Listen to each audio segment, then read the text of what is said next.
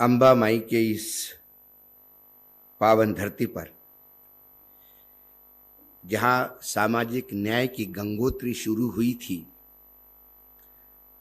उन शाहू महाराज के प्रति नमन करते हुए आदरणीय मंच, सर्वप्रथम मैं सब आपकी माफ़ी माँगता हूँ, क्योंकि ये मेरी आदत है नहीं, मैं नेता हूँ नहीं, अभिनेता हूँ नहीं कि जिसके लिए लोग तटस्थ बैठे रहे। मैं एक पत्रकार हूँ और समय का भान मुझे रहता है। लेकिन क्या करें? व्याख्यान देना ही मेरा पेशा था नहीं, ना है। मैं एक पत्रकार था, लिखता था। फिर टीवी पे आया तो दो दो तीन तीन मिनट की बाइट होती थी। यूट्यूब पे दस से पंद्रह मिनट तक बोलना पड़ता है। लेकिन यदि आज मुझे शहर शहर घूम के बोलना पड़ रहा है तो कहीं ना कहीं मुझे लगता है कि भारत का नागरिक होने का दायित्व भी मुझे निभाना होगा। हमारे पुरखों ने जो पुण्य के काम किए हैं, यदि उसको बर्बाद न होने देने की कोई अभिलाषा मेरे मन में है तो फिर मुझे थोड़ा सा हट के काम करना होगा। इसीलिए लगातार पिछले तीन महीने से पूरे भारत में लगातार बोलता हुआ जा रहा हूँ।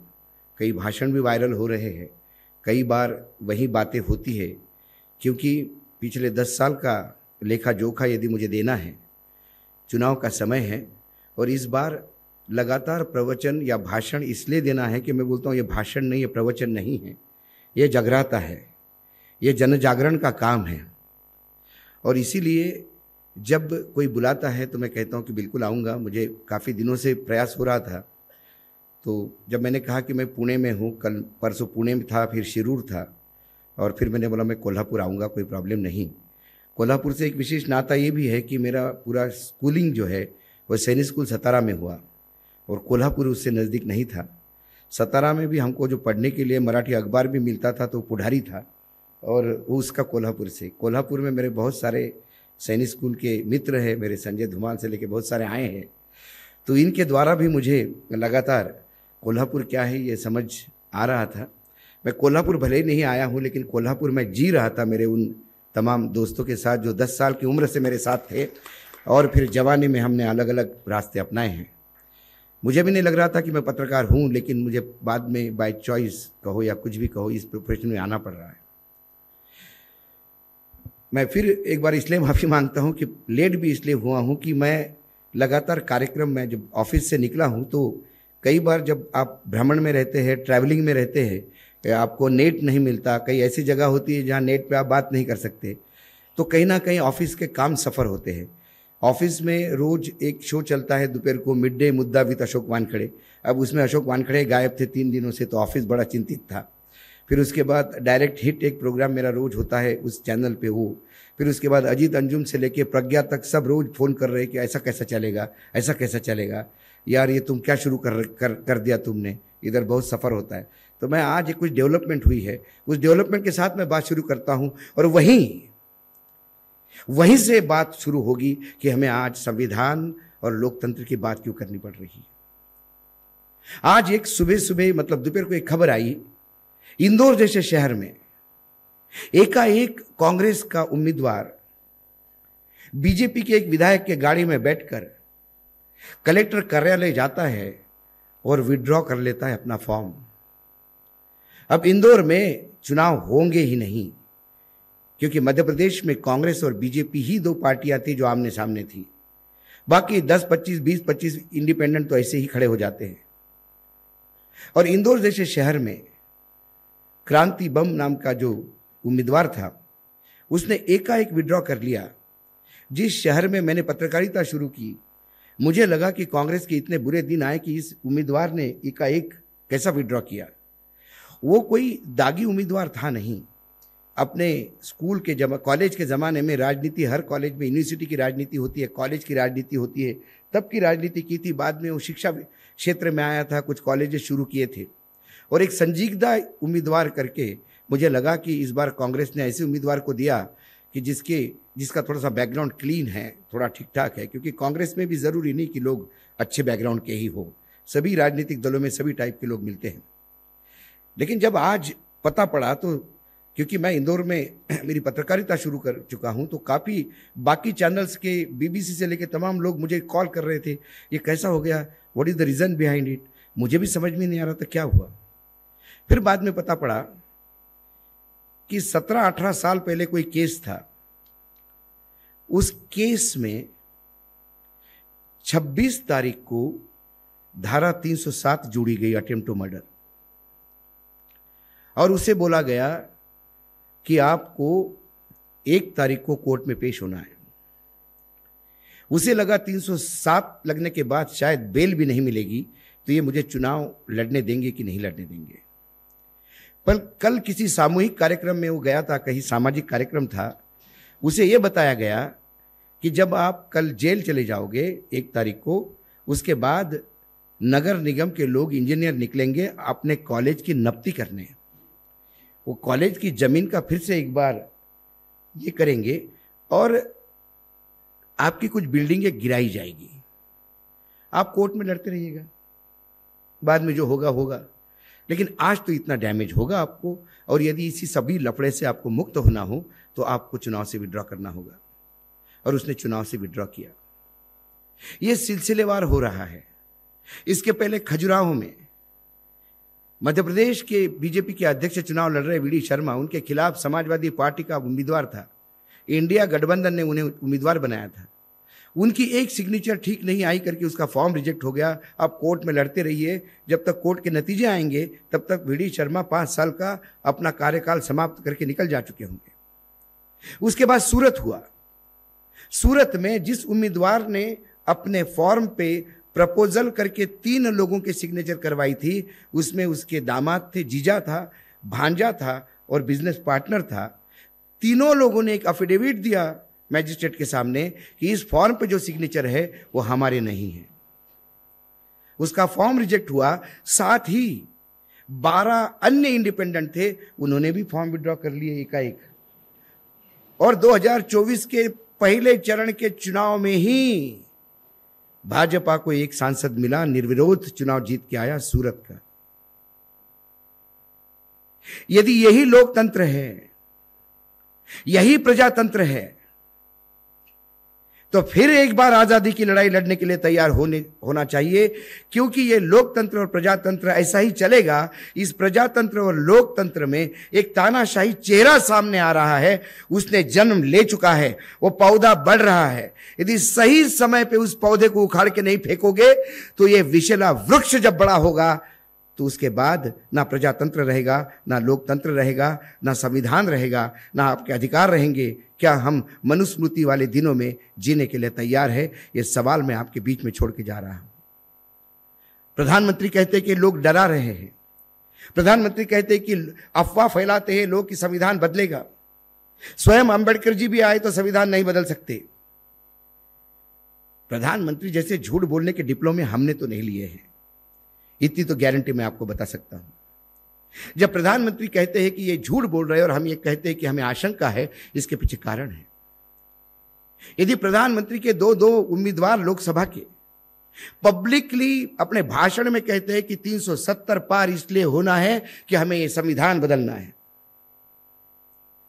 यदि हेगड़े कहता है कर्नाटक में कि हमें संविधान बदलना है, इसलिए 370 चाहिए। और इन तमाम वक्तव्यों के बाद यदि भारतीय जनता पार्टी का शीर्ष नेतृत्व चुप है तो इसके बारे में यह मानना होगा कि क्या यह मूक सम्मति है? और इससे भी आगे जाके मैं कहता हूँ, प्रधानमंत्री के आर्थिक सलाहकार समिति के अध्यक्ष है देवराय बहुत बड़े अर्थशास्त्री समझे जाते हैं। इस देश के आने वाली समय में। देश की आर्थिक नीति कैसी होगी? ये बताने वाला जो शख्स है, वो एक आर्टिकल लिख के कहता है कि इस देश में अब संविधान बदलने की ज़रूरत है, क्योंकि यह संविधान अब खराब हो चुका है, बेकार हो चुका है। यह अमेंडमेंट करने लायक भी नहीं बचा। यह ब्रिटिश कॉलोनियल कानूनों की बू आती है इस संविधान से। इतना कहने के बावजूद वो कहता है कि we will have to go back to the drawing board, to rewrite the constitution. कौन सा कॉलोनियल एक्ट कौन सा ब्रिटिश कॉलोनियल एक्ट की बू आती है विश्व के बेहतरीन संविधानों को स्टडी करने के बाद ढाई साल तक सैकड़ों घंटे की चर्चाएँ परिचर्चाएँ लाखों कागज़ बर्बाद करने के बाद इस देश के तमाम बुद्धिजीवियों ने एक संविधान बनाया।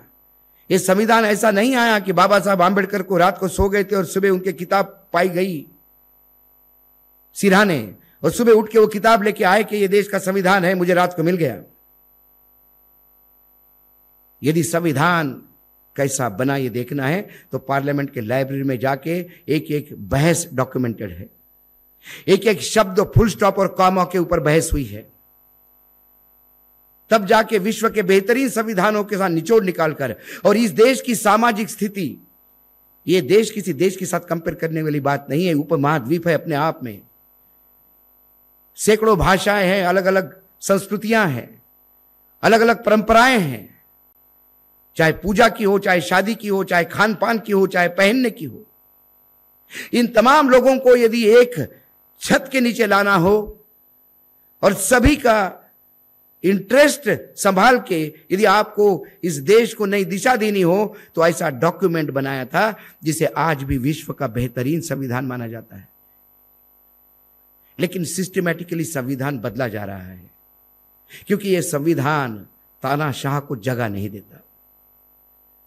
जब यह संविधान संविधान सभा ने अंगीकृत किया था तो एक दिन पहले 25 नवंबर को ड्राफ्टिंग कमेटी के चेयरमैन होने के नाते बाबा साहब आंबेडकर ने भाषण दिया। उस भाषण में उन्होंने एक डर बताया। उन्होंने कहा कि मुझे यह भी डर है कि कहीं ऐसा समय इस देश पे नहीं आए कि लोकतंत्र के मुखोटे में एक तानाशाह जन्म ले। और यह डर मेरा इसलिए है कि हमारे समाज में व्यक्ति पूजा होती है। जिस समाज में अशिक्षा हो, जिस समाज में शिक्षा का स्तर नीचे हो जिस समाज में असमानताएँ हो, उस समान, उस समाज में यदि व्यक्ति पूजा होने लगी तो उस व्यक्ति की भी पूजा जिसकी होती है, वो उस लायक है कि नहीं है, ये भी एक डाउट लेने वाली बात है। और ऐसे व्यक्ति की जब व्यक्ति पूजा होने लगती है तो फिर तानाशाह जन्म लेता है। मैं आज सैल्यूट करता हूँ आंबेडकर जी को, कि उन्होंने उन्नीस सौ उनपचास में क्या होने वाला है ये देख लिया था शायद। इतने दूरदर्शी थे वो।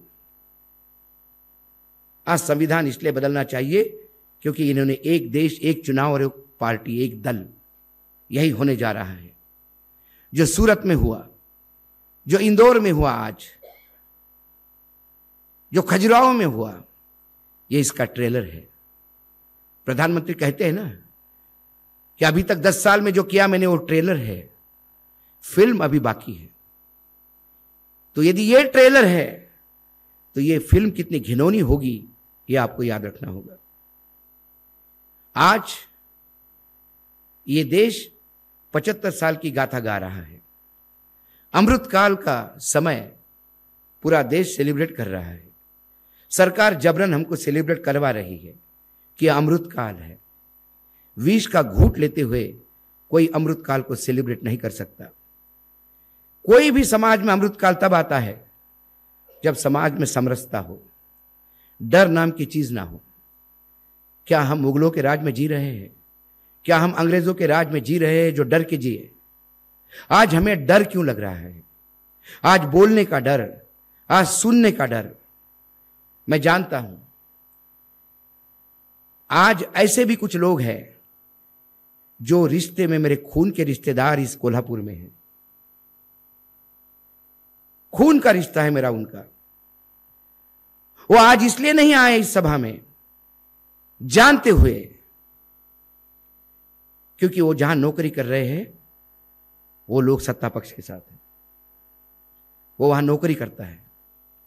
कई मालिक को पता पड़ गया कि मैं, मेरे भाई को मिलने आया, जो भाई सत्ता को चैलेंज देता है या सत्ता को ललकारता है। तो कहीं मेरी नौकरी नहीं जाए, ये डर नहीं है तो क्या है? आज मुझे गर्व है कि इस कोल्हापुर इस नगरी में कम से कम कुछ तो मर्द देखे मैंने, कि सरकार के खिलाफ कुछ आवाज़ उठती है तो उसको कम से कम सुनने के लिए आए हैं। लोग मुझे टाइगर कहते हैं। मैं टाइगर नहीं हूँ। टाइगर आप लोग हैं, क्योंकि आज के डेट में बोलने वाले मिल जाएँगे, सुनने वाले मिलते नहीं। हर एक को डर लगता है। और मैं कोई ऐसी बात नहीं बताने जा रहा हूँ आपको कि जो बहुत बिरली है। सिर्फ़ मैं देखता हूँ। ये बातें आप महसूस करते हैं।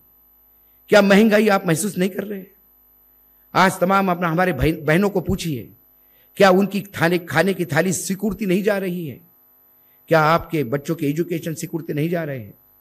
क्या 2014 के बाद हर जगह कॉम्प्रोमाइज नहीं करना पड़ रहा है? क्या हुआ इस देश को? क्यों महँगाई कंट्रोल में नहीं आती? बेरोजगारी का आलम इतना है कि जैसा लड़का जवान होते जाता है, वैसे माँ बाप की चिंताएँ बढ़ती हैं। लोग कहते हैं कि बेटा जवान हो गया, अब मैं चिंता मुक्त हो गया हूँ। हमारे देश में ऐसा समय आ गया है कि बेटा जवान होता है तो माँ बाप की चिंताएँ बढ़ती है, क्योंकि बेटे को नौकरी नहीं, इस फ्रस्ट्रेशन में वो कुछ कर न ले। बेटे को नौकरी नहीं, इस फ्रस्ट्रेशन में उसको भविष्य नहीं दिखता, इस फ्रस्ट्रेशन में कुछ और किसी संगत में न पड़ जाए। इसलिए बूढ़े माँ बाप लगातार अपने बच्चों का ध्यान रखते हैं। शायद उन्हें उतनी तकलीफ़, बच्चा छोटा था तब भी नहीं हुई, बच्चा जवान होने पे हो रहा है। इसके लिए कौन जिम्मेदार है? क्या हम इसके लिए पाकिस्तान और चाइना को जिम्मेदार मानेंगे? हम कांग्रेस का रोना कितने दिन तक रोएँगे? कब तक रोएँगे? 2014 से लेकर 2024 तक 10 साल तो दे दिया है आपको। इस 10 साल में आपने क्या किया? ये 10 साल की उपलब्धियाँ आप गिनाइए। और मैं दावे के साथ कहता हूँ कि हमारे प्रधानमंत्री जी से लेकर तमाम नेताओं के पास जो सत्ता में 10 साल से सत्ता भोग रहे, मक्खन खा रहे हैं, उनके पास भी उपलब्धि बताने की जगह नहीं है। जब आपके तर्कश में तो तीर नहीं, जब आपके पास बताने के लिए कुछ नहीं तो फिर आप दूसरे का देखते हो। आपको आपका मैनिफेस्टो क्या है, घोषणा पत्र क्या है, यह बताने की हिम्मत नहीं होती। क्योंकि 2014 में जो लब्बाजी आपने की, जो झूठ का पुलिंदा आपने लोगों के सामने थमाया 2019 में उससे बड़े सपने वाला पुलिंदा समाया अब 2024 में उससे भी बड़े सपना लेके आए हो। लेकिन लोग पूछ रहे कि 2014 का क्या हुआ भाई साहब? 2019 का क्या हुआ भाई साहब? पहले उसकी बात करें। तो फिर आपने अपना घोषणा पत्र छोड़ के दूसरे के घोषणा पत्र पे बात करें। और यदि दूसरे का घोषणा पत्र भी बात करनी हो तो उस घोषणा पत्र को पढ़िए आप। उस घोषणा पत्र में जो कमियाँ हैं, उजागर कीजिए। लेकिन ये तो मत बताइए जो उस घोषणा पत्र में है ही नहीं। ये तो मत बताइए कि हिंदू के घर के महिलाओं का मंगलसूत्र खींच के मुसलमानों के घर दिया जाएगा। ये तो मत बताइए कि आपके पास चार फ्लैट है तो उसमें से तीन फ्लैट खींच के आपको किसी अल्पसंख्यक को दिए जाएँगे। ये तो मत बताइए कि आपके घर में ज़मीन हो तो ज़मीन का बंटवारा अल्पसंख्यकों में किया जाएगा। ये कहाँ लिखा है? और हमारे प्रधानमंत्री इस बात को भूल जाते हैं कि वो देश के प्रधानमंत्री हैं। प्रधानमंत्री पद की गरिमा है। हमने कई प्रधानमंत्री देखे, तीस साल के मेरे दिल्ली के वास्तव्य में। मैंने कई प्रधानमंत्रियों को नज़दीक से भी देखा, उनका प्रचार भी देखा। लेकिन हर प्रधानमंत्री एक राजनीतिक दल का नेता होता है, लेकिन उसके पहले भी वो प्रधानमंत्री होता है। वो हमेशा उस गरिमा को ध्यान रखता है। यदि छिचोरापन प्रधानमंत्री ले आए तो फिर उस पद की गरिमा नीचे हो जाती है। आज मुझे शर्म आती है, क्योंकि वो भी मेरे प्रधानमंत्री है।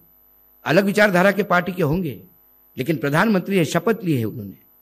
यदि मैं किसी को कहूँ, विदेश जाके नरेंद्र मोदी क्या है तो मैं बोलता हूँ is honourable prime minister of India he is my prime minister जब मैं कहता हूँ कि इज़ माई प्राइम मिनिस्टर तो मेरा भी जुड़ाव मेरा भी जुड़ाव है उनमें। जब तक चुनाव लड़ते हो, तब आप किसी राजनीतिक दल के होते हो। जब आप सरकार में बैठते हो और प्रधानमंत्री पद की शपथ लेते हो तो पूरे राष्ट्र के प्रधानमंत्री होते हो।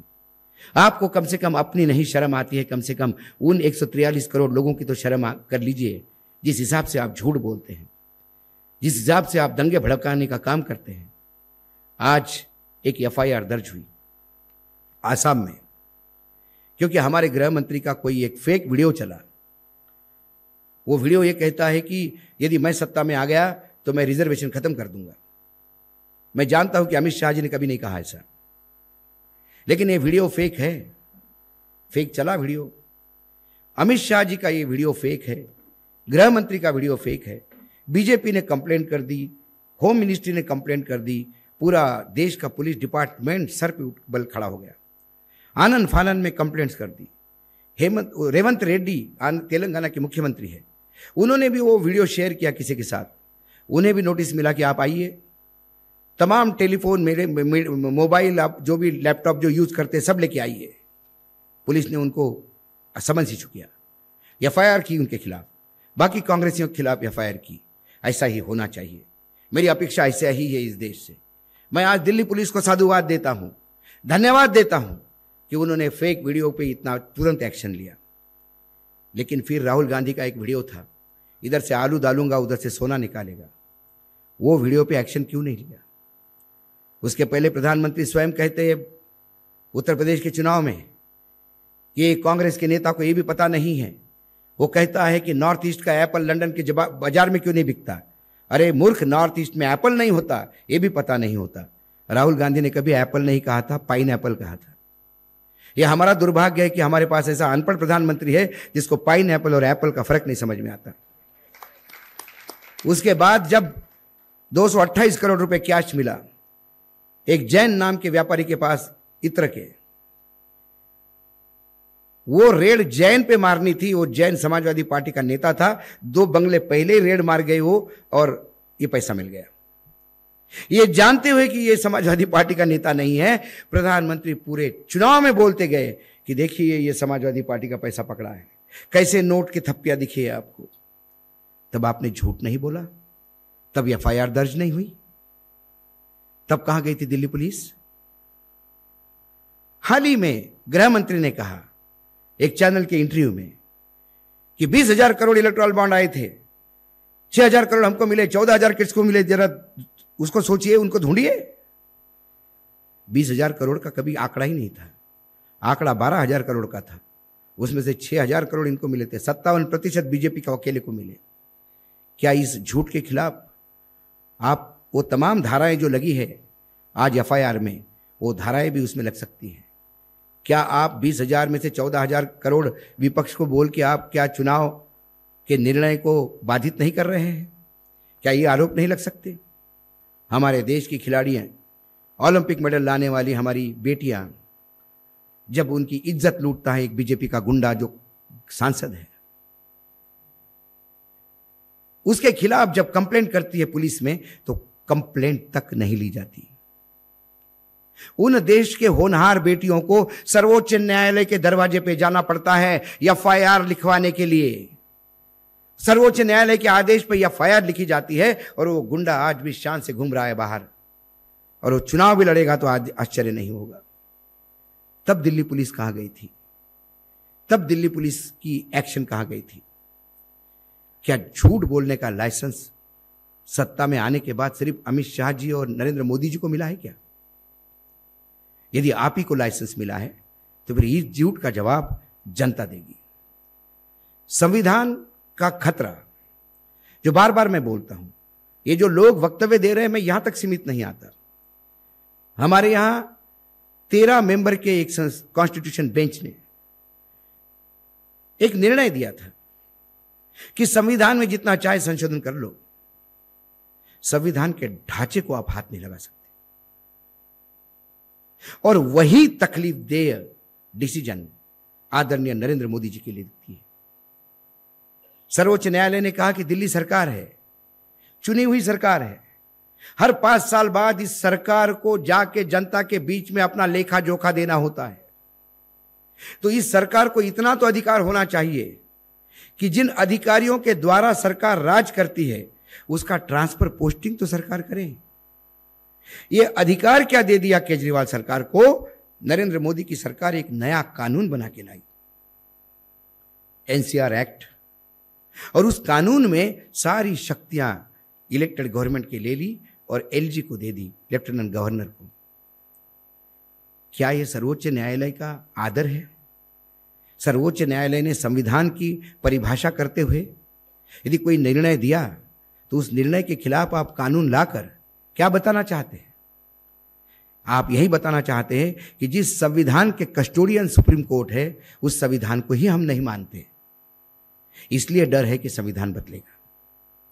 इसके बाद सर्वोच्च न्यायालय के फिर संविधान पीठ ने एक निर्णय दिया कि इस देश में चुनाव जो है, लोकतंत्र हमारे संविधान की आत्मा है।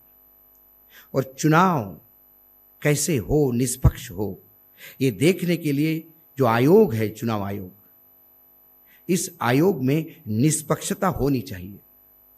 इसके लिए आयोग में जो नियुक्तियाँ होगी, उसमें प्रधानमंत्री रहेंगे, कमिटी में, विपक्ष के बड़े नेता रहेंगे, और सर्वोच्च न्यायालय के मुख्य न्यायाधीश रहेंगे, ताकि पक्ष, विपक्ष और एक न्यायाधीश, तीनों के चलते नियुक्तियाँ होगी, ताकि ऐसे लोग वहाँ बैठे जो लोग वाकई निष्पक्ष चुनाव करवाएँगे, तभी तो लोकतंत्र रहेगा।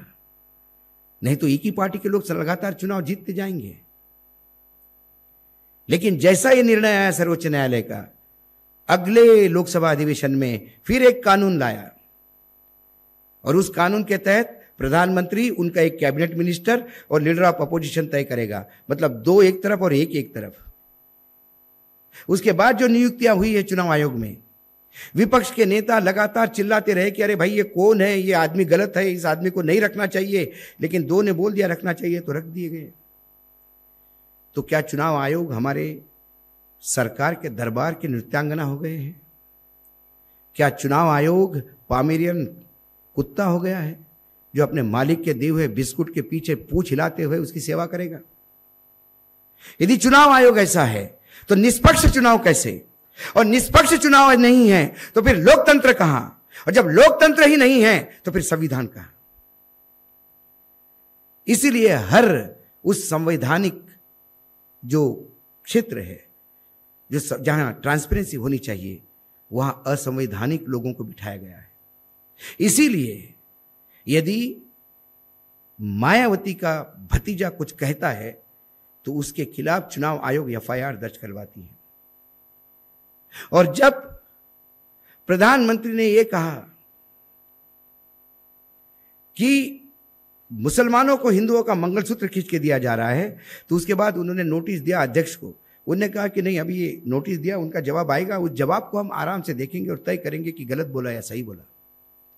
एफ़ आई आर उसी दिन क्यों नहीं दर्ज होती? क्योंकि कौन पामीरियन कुत्ता अपने मालिक को काटेगा? वो तो पूछ हिलाएगा तो क्या अपेक्षा है इस चुनाव से? इसीलिए जनजागरण की ज़रूरत है। सवाल भाजपा का नहीं है। मैं ये कहता हूँ कि एक पत्रकार होने के नाते पत्रकार के साथ एक दुर्भाग्य होता है। अच्छा पत्रकार, ईमानदार पत्रकार हमेशा विपक्ष का साथी होता है। क्योंकि सवाल पत्रकार सरकार को पूछेगा। चाइना क्यों आया? मैं जाके किसी सीताराम येचुरी को तो नहीं पूछूँगा। कि भाई साहब, आप बताइए, चाइना को कैसा आने दिया आपने? वो बोले मैं सरकार में थोड़ी हूँ जो है, उसको पूछो ना यार। गजब बात कर, मैं भी यही सवाल सरकार को पूछ रहा हूँ, और मूर्ख आदमी तू भी मुझे ही पूछ रहा है। तो सवाल तो सरकार को पूछने होंगे।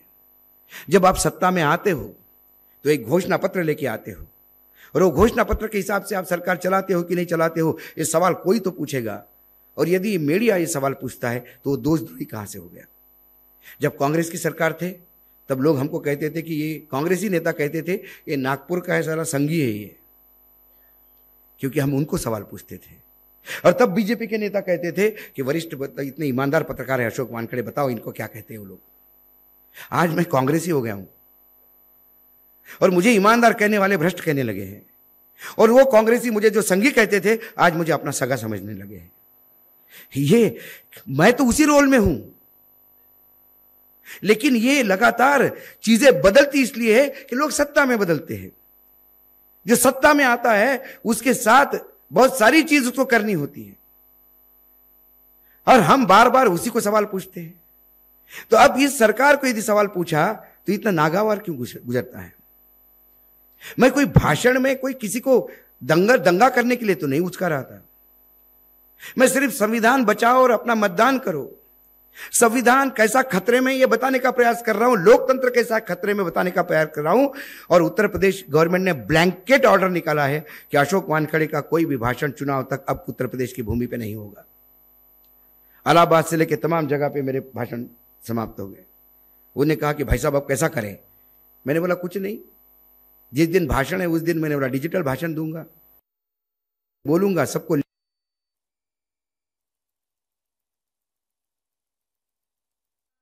तो लोगों तक तो बात दो लोगों के बीच में टालियाँ उसमें खुशी नहीं है। बात आपके दिल में उतरनी चाहिए। आज संविधान खतरे में है, देश खतरे और देश इसलिए खतरे में है कि किसी भी देश की उन्नति उसके आर्थिक नीतियों से मान आज मैं जब बोलता हूँ, आज याद रखिएगा मेरे शब्द। किसी भी दिन हम लंका होने जा रहे हैं।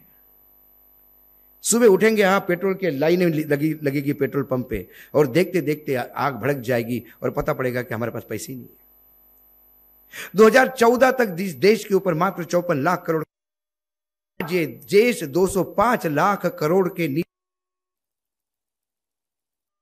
200 लाख करोड़ पिछले बजट में मेरे सरकार ने मतलब हमारी सरकार ने जितनी कमाई की, जितना इनकमिंग है, जितना रिसिप्ट है, जितने पैसे है, उससे बावन प्रतिशत हम सिर्फ़ ब्याज अदायगी में दे रहे हैं। बचे हुए 48 प्रतिशत में हम देश चला रहे एक साल के लिए।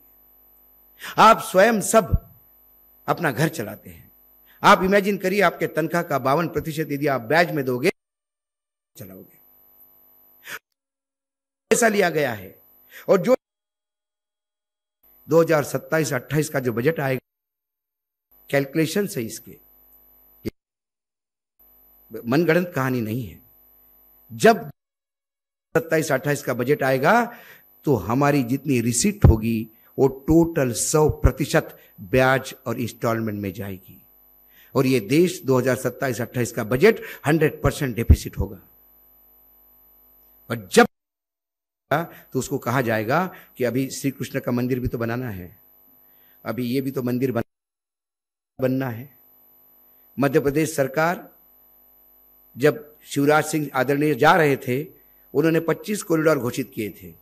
जहाँ हनुमान की मंदिर है वहाँ हनुमान कॉरिडोर या ये फला कॉरिडोर फला कॉरिडोर महाकाल कॉरिडोर और मध्य प्रदेश सरकार हर महीने 2000 करोड़ रुपए लोन लेती है। जब नया मुख्यमंत्री नहीं बना, पुराना मुख्यमंत्री एक्टिंग पोजीशन पे था मतलब केयर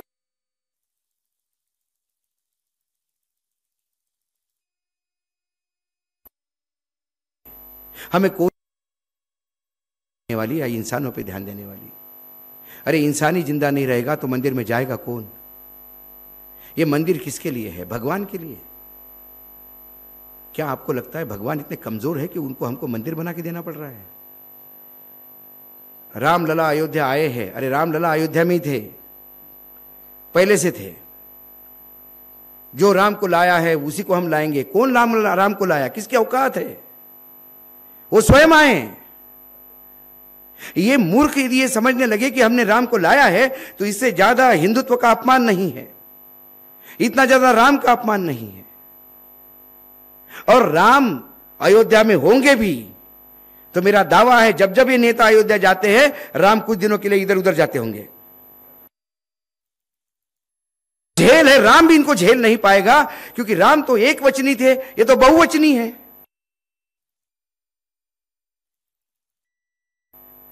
और इस. जो आपसे वो। का कब हो जाए पता नहीं। उसका सम्मान करते कि हमारे हैं तो बोलते, मैं एकनाथ शिंदे के साथ चला गया हूँ। और एकनाथ शिंदे बोलते, मुझे पता ही नहीं मेरे यहाँ आए हैं। मैं एक विधानसभा गया एक बार तो वहाँ पे एक मंत्री क्या नाम बताए, उन्होंने मुझे बोला नहीं नहीं, आप दो मिनट के लिए तो चैम्बर में आइए। गए तो बोले, कुछ हमारे एमएलए बड़े आपके फ़ैन है यार, मिलना चाहते हैं। तो सबको बता रहे थे, ये इस पार्टी में एमएलए नहीं नहीं, किसी का मत बताओ। कौन याद रखेगा? मैं जाके होटल में जाऊँगा, तब तक फ्लैश आएगा, इसमें से तीन उधर से इधर हो गए होंगे, उधर से उधर हो गए होंगे। बड़ी बात है मेरे लिए। किस पार्टी से हो ये मत बताओ। क्योंकि किधर से कौन कहाँ जाता है, कैसी विचारधारा बदलती है। और इन बिकने वाले, बिकाऊ माल को यदि हम भेजते हैं तो हमारे से ज़्यादा नालायक और मूर्ख कोई नहीं। ये हमें देखना होगा। बार बार मैं कहता हूँ, हर राजनीतिक दल में अच्छे लोग होते हैं, हर राजनीतिक दल में बुरे होते हैं। अरे एक मर्द को भेजो अपना नुमाइंदा बना के, कि जो पार्लियामेंट में उसकी सरकार भी हो तो आवाज़ उठाए। अपने सरकार के खिलाफ भी बोलने की आवाज़ उठाए कि मैं कोल्हापुर का सांसद हूँ। होगी डबल इंजन की सरकार, लेकिन मेरी समस्याओं का अभी तक निदान क्यों नहीं हुआ? आज मैं पूछता हूँ ट्रांसपोर्ट मिनिस्टर को, आज मैं पूछता हूँ अर्बन डेवलपमेंट को, आज मैं पूछता हूँ रूरल डेवलपमेंट को, आज मैं पूछता हूँ एग्रीकल्चर मिनिस्टर को। नहीं नहीं, वो सवाल नहीं पूछा। हमारी सरकार है ना, वो बाद में डांटते हमको। ऐसे नामर्दों को भेजोगे तो माफ़ करना अपने आप को मर्द बोलने का अधिकार हमको भी नहीं है। क्योंकि जो नुमाइंदा आप भेजते हो, यदि वो नपुसक है तो फिर उसके साथ ही भी सब वही होते हैं। बड़े कड़े शब्दों में बोल रहा हूँ मैं। क्योंकि मैंने इसी विधा लोकसभा में, मेरे तीस साल के दिल्ली के वास्तव्य में, मैंने दहाड़ते हुए लोगों को देखा, अपने ही पार्टी के घेरते हुए, लोगों को घेरते हुए देखा, और मंत्रियों को फड़फड़ाते हुए देखा, क्योंकि उन्हीं का सांसद उसका सवाल पूछता है। लेकिन 2014 के बाद तो कव्वालों की टोली बैठ गई है पार्लियामेंट में। दो गाते और बाकी सब टालियाँ बजाते हैं। आज यहाँ हम भी देखेंगे, आज यहाँ हम भी देखेंगे। हमारा कैबिनेट कव्वालों का टोला हो गया है। वो भी वहीं दो गाते हैं और बाकी सब वो सुर में गाए, बेसुरे में गाए, वो हिंदी में गाए, उर्दू में गाए। बस हाजिया हम भी देखेंगे। बस पीछे टाली बजाना है। ये टाली बजाने वालों से निकलना ज़रूरी है। इसीलिए जब आप बटन दबाते हो, तीस सेकंड का टाइम लेके तो एक ऐसा समय है आपके पास, उस समय एक अच्छे इंसान को, जो विचारधारा नहीं बदलता हो जो खोके लेके, बोके जैसा मक्खन खाने के लिए इधर उधर मुँह नहीं मारता हो। जिसको अपना कोल्हापुर छोड़ के कहीं गुवाहाटी और उधर उधर के पेड़ पौधे देखने की इच्छा नहीं होती हो। ऐसे लोगों को चुनाव जितवाइए।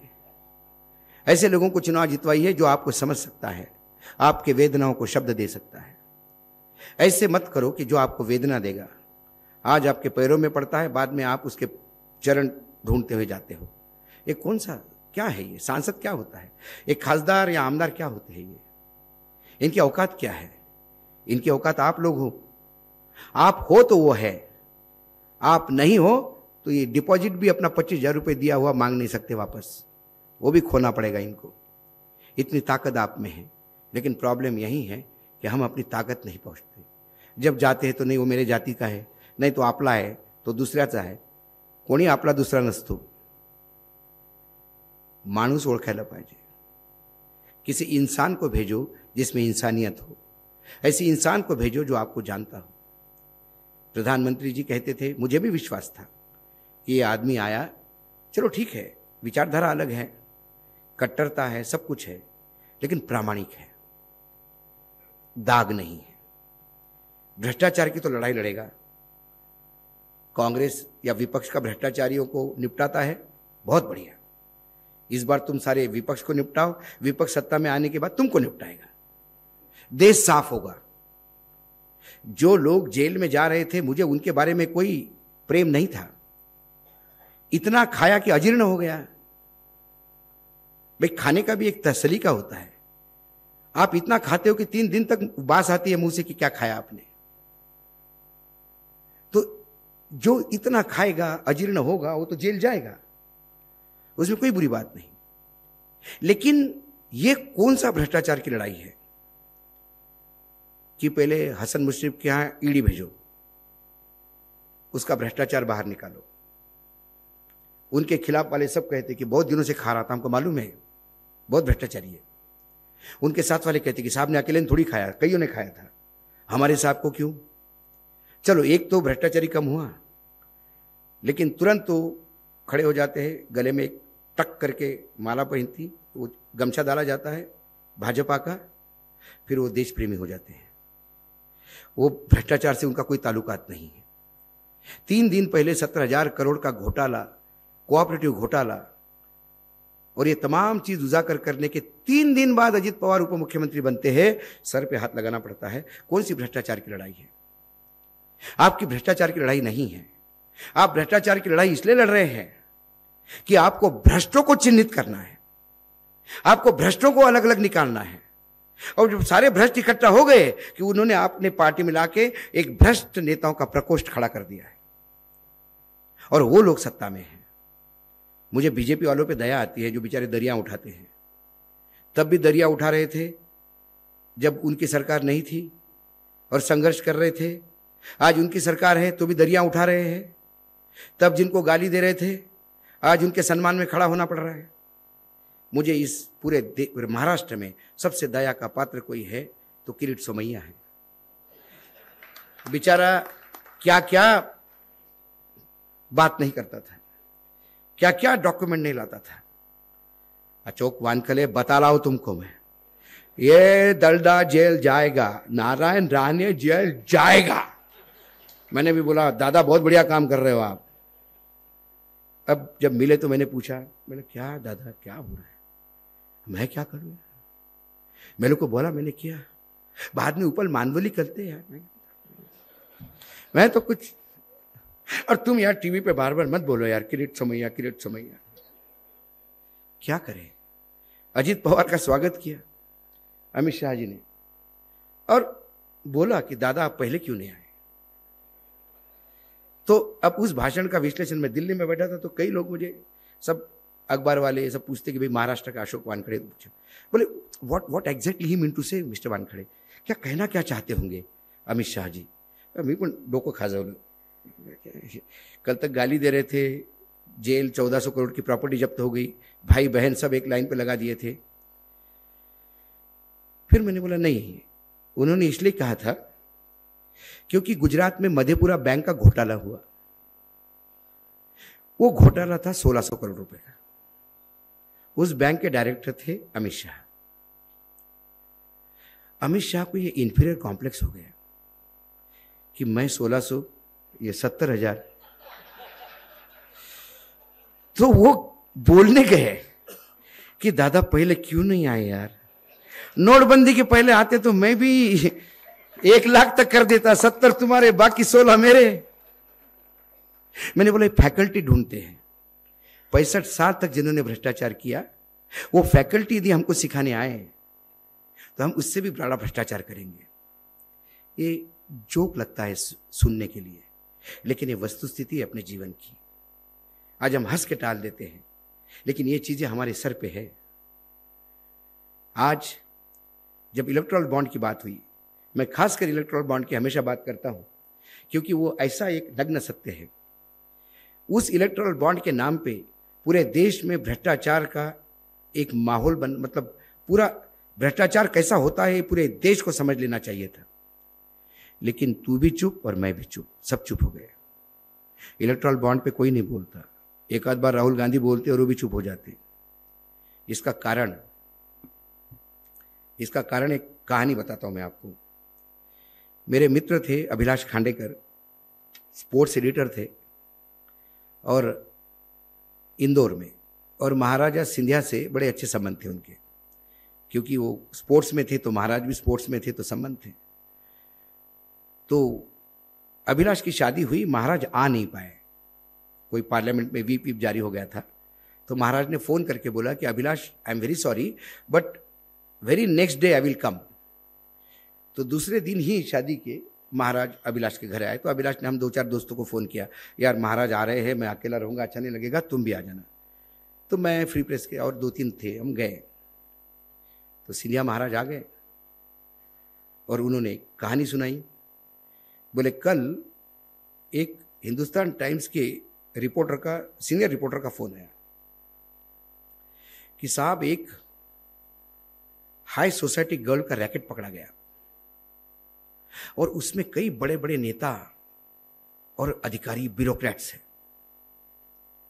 हंगामा मचेगा देश में। मतलब सेक्रेटरी लेवल के लोग हैं, कुछ कैबिनेट मिनिस्टर है। बोला, मैं भी खबर सुन के रात भर कि यार क्या कौन कौन हो सकता है? सुबह उठा मैं अखबार तीन तीन बार देख रहा हूँ, एक लाइन नहीं आई उसमें। फिर मैंने पूछा, बोले, उसको क्या यार गप मारता है? उसने बोला, बोले, नहीं, वो पूरी लिस्ट में दो संपादक भी थे। तो फिर सभी अखबारों ने तय कर लिया कि संपादक है तो कोई नहीं बोलेगा। ऐसा ही इलेक्ट्रॉल बॉन्ड का हो गया। इलेक्ट्रॉल बॉन्ड, ये भ्रष्टाचार नहीं। साथियों, ये राजनीतिक व्याभिचार है। और मैं इसलिए कह रहा हूँ, क्योंकि जब 2014 में नरेंद्र मोदी जी की सरकार आई तो 14, 15, 16 में इन्होंने तय कर लिया कि भ्रष्टाचार करना है बड़े पैमाने पे। वसूली भी करना है एक्सटॉर्शन भी करना है कमीशन भी खाना है सब कुछ करना है। लेकिन एक ऐसा कुछ इसको कानूनी जामा पहनाओ।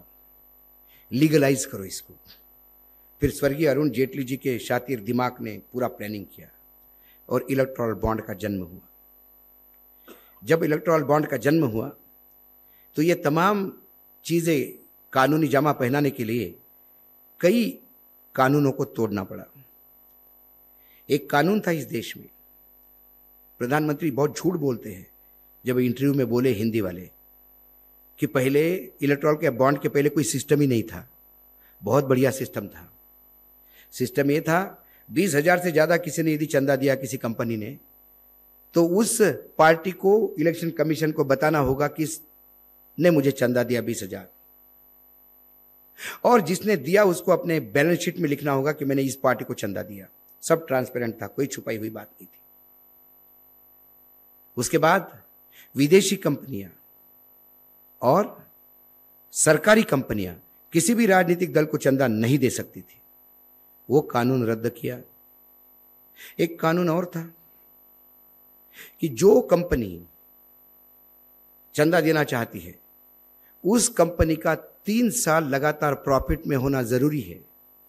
और तीन साल के प्रॉफिट के साढ़े सात टक्का average of three years net profit seven and fifty percent, seven point fifty percent ही आप चंदा दे सकते हो।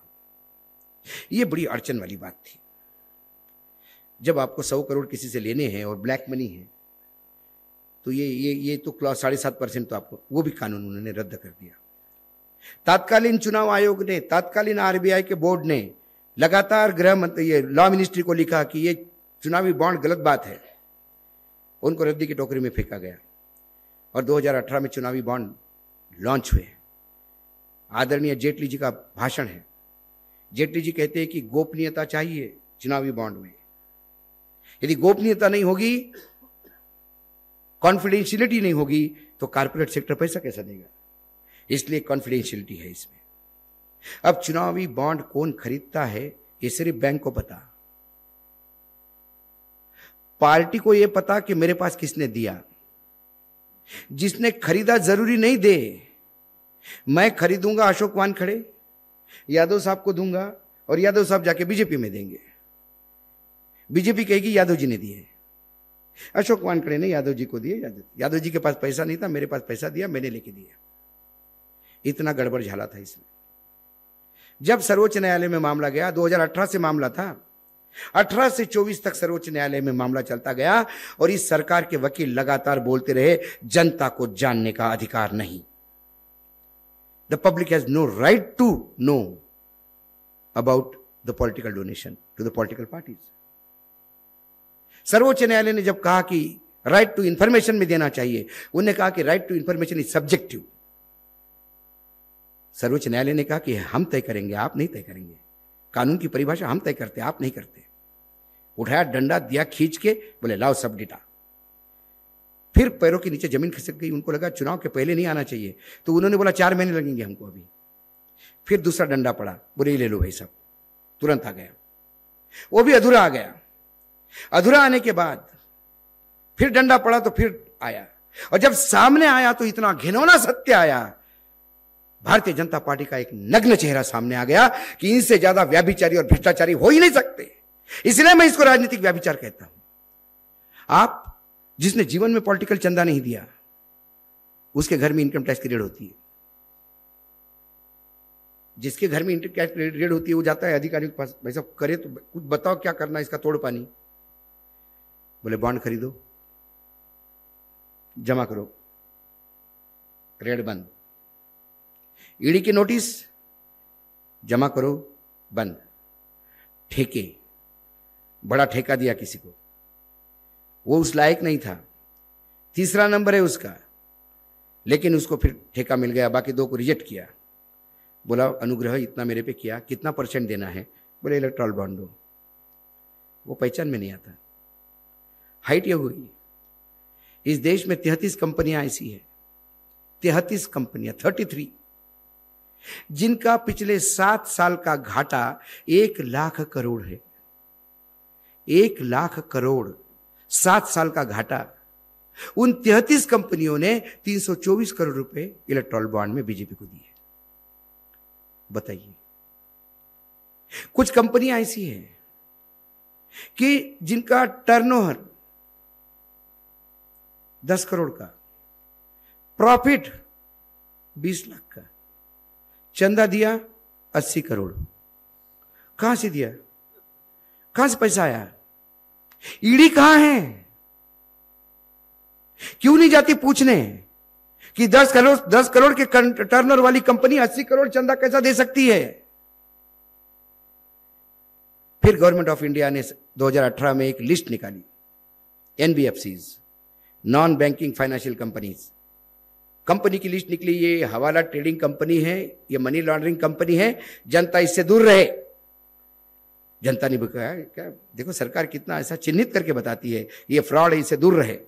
जनता दूर हो गई, इन्होंने कंपनियों को नज़दीक किया। जिनको ये फ्रॉड कर रहे थे, उनसे भी चंदा लिया। उसके बाद हमारे यहाँ ऐसी कंपनियाँ थी बड़े बड़े सन फार्मा, सिप्ला, क्या नाम है बड़े बड़े हज़ारों करोड़ का टर्नओवर। एक एक साल में आठ आठ बार सैंपल फेर हो गए दवाइयों के। और दवाइयाँ कौन सी? Life saving drug heart attack आने पे लेता है। कीमोथेरेपी थेरेपी के बाद लेता है। रेमडी रिसीवर जैसे इंजेक्शन बनाता है। इन कंपनियों के सैंपल फेल हो गए। सब स्टैंडर्ड थे। कई लोग मरे होंगे वो दवाइयाँ लेके। हम तो डॉक्टर को भगवान कहते वो लिख के देता है और हम जाते हैं दवाई की दुकान पे। कभी उसको नहीं पूछते। हम चावल लेते समय पूछते, बराबर भाव दिया ना? सही चावल है, गलत तो नहीं बता रहा है। लेकिन दवाई पे हम कभी भाव नहीं करते। दवाई की दुकान पे पूछते नहीं कि असली है कि नकली है।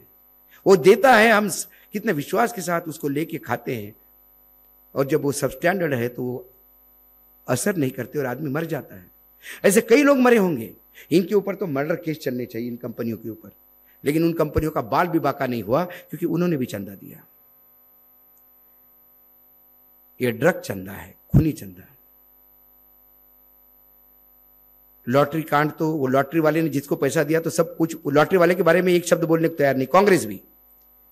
क्योंकि उसने वही काम किया, वो ज्योतिरादित्य, वो जो सिंधिया साहब ने जो बताया था कि सब धंधे करो, दो पत्रकार को भी साथ में रखो तो कहीं छपता नहीं। तो उनने सत्ता पक्ष को भी बहुत दबा के पैसा दिया और विपक्ष को भी थोड़ा थोड़ा देते गया तो वो लॉटरी वाला जो सबसे भ्रष्ट है, उसका नाम कोई पॉलिटिकल पार्टी लेती नहीं, कांग्रेस भी नहीं लेती। क्योंकि उसमें कांग्रेस भी नंगी है।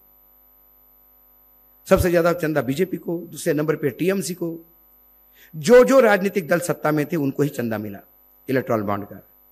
केसीआर, इतना छोटा तेलंगाना, क्या पैसा मिला केसीआर को? छह सात सौ करोड़ रुपए। उधर डीएम के, जो सत्ता में नहीं, उनको कुछ नहीं मिला। जो सत्ता में है, उनको मिला। इसका मतलब ये ठेके के एवज में थे। अतले मूर्ख इतने हैं कि ठेका देने के तीन महीने, ठेका देने के बाद जब भी विंडो खुली, तब पैसा दे दिया उनने। अरे, एक आध महीने का गैप देते, एक आध साल का गैप देते तो पकड़े भी नहीं जाते।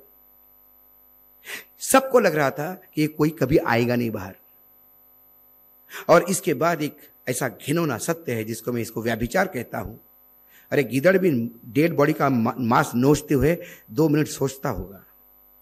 ये तो वो भी नहीं सोचता। एक सौराष्ट्र वैसे ही पिछड़ा एरिया है गुजरात का। सौराष्ट्र के कच्छ ज़िले के एक दलित परिवार ने दस करोड़ का चंदा दिया।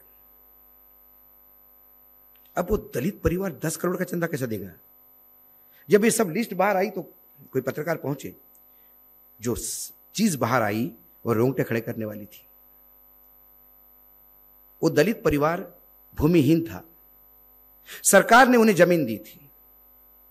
जब सरकार ने उन्हें ज़मीन दी, बहुत पहले से ज़मीन मतलब सालों पहले, पुराने जमाने की बात कर रहा हूँ। गुजरात में वो रूल है, यदि सरप्लस ज़मीन कहीं है तो वो लैंडलेस लेबर को देते हैं। और उनको ये बोला गया था कि ये ज़मीन आप बेचोगे नहीं, जब भी बेचोगे तो इसमें से जो पैसा आएगा बेचने से, उसमें से चालीस प्रतिशत फिर सरकार को वापस जाएगा, क्योंकि ये सरकार ने दी हुई ज़मीन है। तो उस दलित के ज़मीन के आसपास कुछ फैक्ट्री लगना शुरू हुई। तो एक वेल्सपन ग्रुप है उसकी फैक्ट्रियाँ लगना चालू हो गई उनने कहा कि ये ज़मीन हमको चाहिए। तो वो कलेक्टर के पास, क्योंकि ज़मीन का कीमत कलेक्टर तय करते हैं वहाँ पे। कलेक्टर के पास गए। कलेक्टर ने कमेटी बिठाई और कहा कि ये ज़मीन की कीमत बहत्तर करोड़ रुपए, सॉरी, छिहत्तर करोड़ रुपए है, सेवेंटी सिक्स करोड़ रुपीज़ आप छिहत्तर करोड़ रुपए किसान को दे दीजिए, उसमें से चालीस परसेंट गवर्नमेंट ऑफ़ गुजरात को जाएगा, बाकी किसान को जाएगा और ज़मीन आपकी। वेल्स पर ने हाथ ऊपर कर दिए, बोले, बहुत ज़्यादा है। और वो चले गए। किसान खेती करने लगा। वो रेट एक साल के लिए रहता है। एक साल के बाद लैप्स होता है, फिर ज़मीन खरीदो तो फिर से कमेटी बैठेगी। और जमीनों के भाव हमेशा बढ़ते हैं। इसलिए छिहत्तर करोड़ की छियासी करोड़ भी हो सकती थी। जब एक साल जाने में पंद्रह दिन बचे, एक डिप्टी कलेक्टर की एंट्री हुई इस डील में। डिप्टी कलेक्टर ने उस परिवार को बुला के बोला, अरे तुम मूर्ख हो। ज़मीन किसकी है? बोले, हमारी, बोले, तुम्हारी कहाँ से हो गई? गुजरात सरकार की है। बोले हाँ उन्होंने दी थी हमको। बोले, देखो, अभी जो मिलता है ले लो। नहीं तो उसके बाद क्या होगा? सरकार ज़मीन वापस ले लेगी अपनी। तुम्हें खदेड़ देगी। हमने दी थी, वापस ले रहे हैं। आपको क्या मिलेगा? बोला, ऐसा भी हो सकता है कि, बोले, कानून है। तुम मूर्ख हो। तो बोले, फिर कितने में करे ये? बोले, वो जो कंपनी दे रही, ले लो। उस कंपनी के लोगों को बुलाया। सोलह करोड़ में सौदा हुआ। छिहत्तर करोड़, सोलह करोड़, अभी अभी खेल बाकी है। सोलह करोड़ उसको मिले। सोलह करोड़ मिलने के बाद जो गुजरात गवर्नमेंट का जाना था, गया तीस, चालीस परसेंट बाकी पैसा इनके पास हो गया। वेल्सपन का, क्योंकि फैक्ट्री नज़दीक थी तो उनका बड़ा गेस्ट हाउस था। वहाँ बीजेपी के दो नेता वेल्सपन के डायरेक्टर, जनरल मैनेजर, ये जो अधिकारी था, जो लैंड साउथ, इधर से उधर वो रिकॉर्ड करने वाला, वो भी उस गैंग में शामिल था। ये सब लोग वहाँ बैठते थे। गेस्ट हाउस में दारू पीते थे, पार्टी करते थे। और इस दलित परिवार को साथ में इसके मुखिया में जो बड़ा भाई था, दलितों में सबसे बड़ा, वो और उसके बेटे को बुला लेते थे। अरे अब तुम वो नीचे बैठे, अरे बोले सोफा सेट पे बैठो, तुम करोड़पति हो गए हो, हमारे बराबर हो गए हो। है ना बैंकों में सोलह करोड़ रुपए? बोला हाँ साहब। बोले, फिर? आराम से, हमारे साहब दो, तीन, एक सप्ताह में तीन बार पार्टी हुई। उनको भी लगा कि हम करोड़पति हो गए, अब ये डायरेक्टर के साथ बैठने लगे। फिर एक दिन धीरे से कंधे पे हाथ रख के बोलते कि, बड़ी कई बार चिंता होती है दोस्त तुम्हारे बारे में। बोले, क्या हो गया भाई साहब? बोले, जो बैंक में पैसे पड़े हैं ना तुम्हारे, ये सारा इनकम टैक्स का जिस दिन नज़र पड़ जाएगा, ये अकाउंट सीज कर लेंगे, जब्त कर लेंगे। बोले, नहीं, ये तो अपने को सरकार कई तरह से हो गया। बोले, तुम्हारा मैं थोड़ी बोल रहा हूँ, गलत पैसा है, लेकिन इनकम टैक्स क्या करता है? पहले जब्त कर देता है। फिर कोर्ट में लड़ो। सुप्रीम कोर्ट तक लड़ना पड़ता है, बड़ा अमाउंट है। बोले सात आठ साल में तुम जीत जाओगे। और तुम्हें पैसा मिल जाएगा वापस। लेकिन जब बैंक के अकाउंट बंद हो जाएगा तो फिर वकील कहाँ से करोगे? तो बोले, साहब, ये तो बड़ा बड़ा गजब बात बताइए आपने तो मरने का काम हो गया। तो आप बताओ इसका क्या करना है? बोले, भारत सरकार ने एक नई योजना निकाली है। उसमें पैसा लगाओ, डेढ़ गुना हो जाता है एक साल में। बोले, सर, कौन सी है, बताओ। बोले, इलेक्ट्रॉल बॉन्ड। उस गरीब दलित बापड़े को स्टेट बैंक ऑफ़ इंडिया ले गए। उसने चेक साइन करके दिए। उससे 11 करोड़ के बॉन्ड खरीदवाए।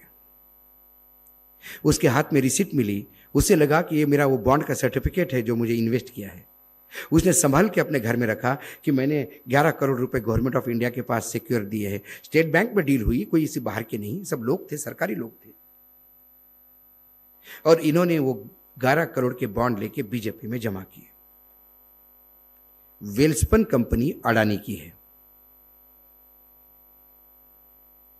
जब यह बात सामने आई और जब पत्रकार ने बोला कि अरे मूर्ख इंसान, ये चंदा दे है, एक पैसा नहीं मिलेगा तो पुलिस स्टेशन गया कंप्लेंट करने। पत्रकार और सब लोग साथ में देख के पुलिस ने कंप्लेंट तो लिख दी, एफआईआर अभी तक नहीं हुई बोले, इन्वेस्टिगेट करेंगे। कहाँ से करेंगे भैया? जैसा मैंने बोला, ये पामेरियन कुत्ता वहाँ पे है। हमारी सरकार पामेरियन कुत्ता बन के अडानी के दरबार में बैठी हुई है। वो अपने मालिक को कहाँ से काटेगी?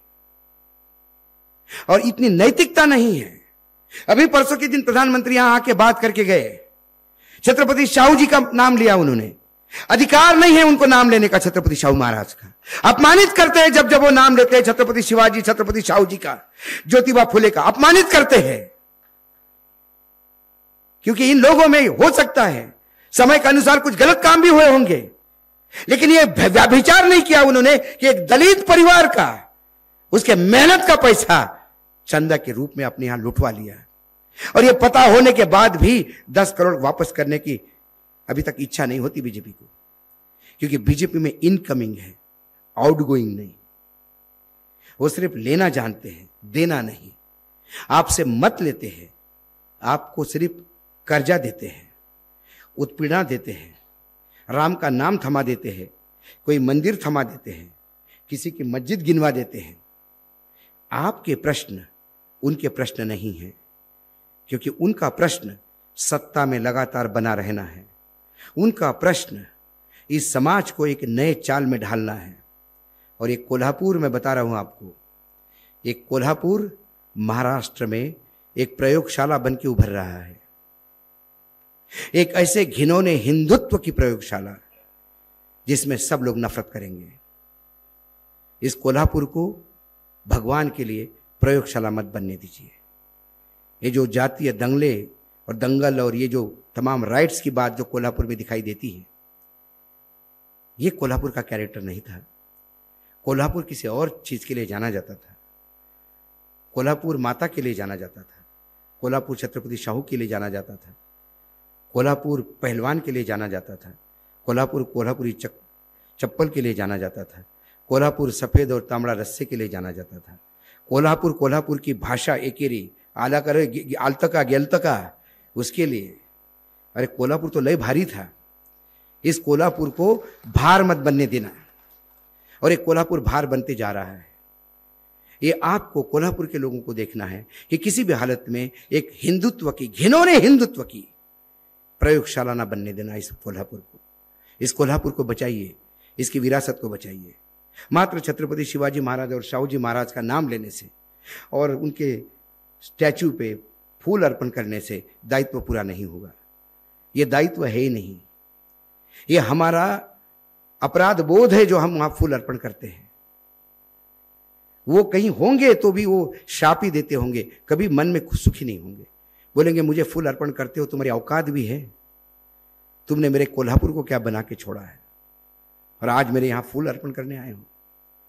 इसलिए मैं कहता हूँ, ये जो मैं बार बार बोलता हूँ कि आपको देखना है, आपको उम्मीदवार देखना है, आपको राजनीतिक दल वो देखना है, जो कम से कम आपके वेदनाओं की पूर्ति तो करे, वेदनाओं को जाने तो सही, माने आप परेशानी में हैं। ना करे हल इसका। लेकिन आप परेशानी में हैं, ये मानना भी एक दिलासा देता है। लेकिन ये कोई कहे कि इस देश में बेरोजगारी है ही नहीं, वो तो जख्म पे नमक लगाने जैसा है। इस महाराष्ट्र की राजनीति की बात करें तो इतनी घिनौनी राजनीति मैंने कभी नहीं देखी थी। महाराष्ट्र और दिल्ली का तख्त एक चोरी दामन का साथ है। दिल्ली का तख्त मराठों का नाम सुनने के बाद उनके रोंगटे खड़े हो जाते हैं। दिल्ली के तख्त के सामने महाराष्ट्र ने कभी गर्दन नहीं झुकाई। कहते हैं, आज़ादी के बाद भी जब हिमालय जख्मी हो गया था तो सह्याद्री उसके मदद के लिए गया था। ये वो महाराष्ट्र है। मैं मानता हूँ शरद पवार ने पार्टी तोड़ी होगी, लेकिन शरद पवार ने पार्टी तोड़ी इसलिए कि दिल्ली दरबार को आँखें दिखानी थी। दिल्ली दरबार के सामने पूछ ना हिलानी पड़े, इसीलिए शरद पवार ने पार्टी तोड़ी। शरद पवार को सौ गुने माफ़ जो दिल्ली दरबार के सामने पूछ हिलाता हो, दिल्ली दरबार के सामने चरण चाटने जाता हो, उसके कम से कम मेरा महाराष्ट्र तो कभी माफ़ नहीं करेगा। इन्हें छत्रपति शिवाजी महाराज का नाम लेने का अधिकार नहीं है। जो छत्रपति शिवाजी महाराज आगरे के किले में साक्षात शहनशाह को ललकारते हुए निकल गए थे, बिना जान की परवाह किए। हो सकता था कि वहीं वहीं वहाँ उनका छिरच्छेद होता। क्या उनको मालूम था उनको अरेस्ट करने वाले हैं? एक साथ में अपना बेटा साथ में, बस और कुछ नहीं। पूरी पीढ़ी खत्म हो जाती। लेकिन वो महाराष्ट्र की अस्मिता थी।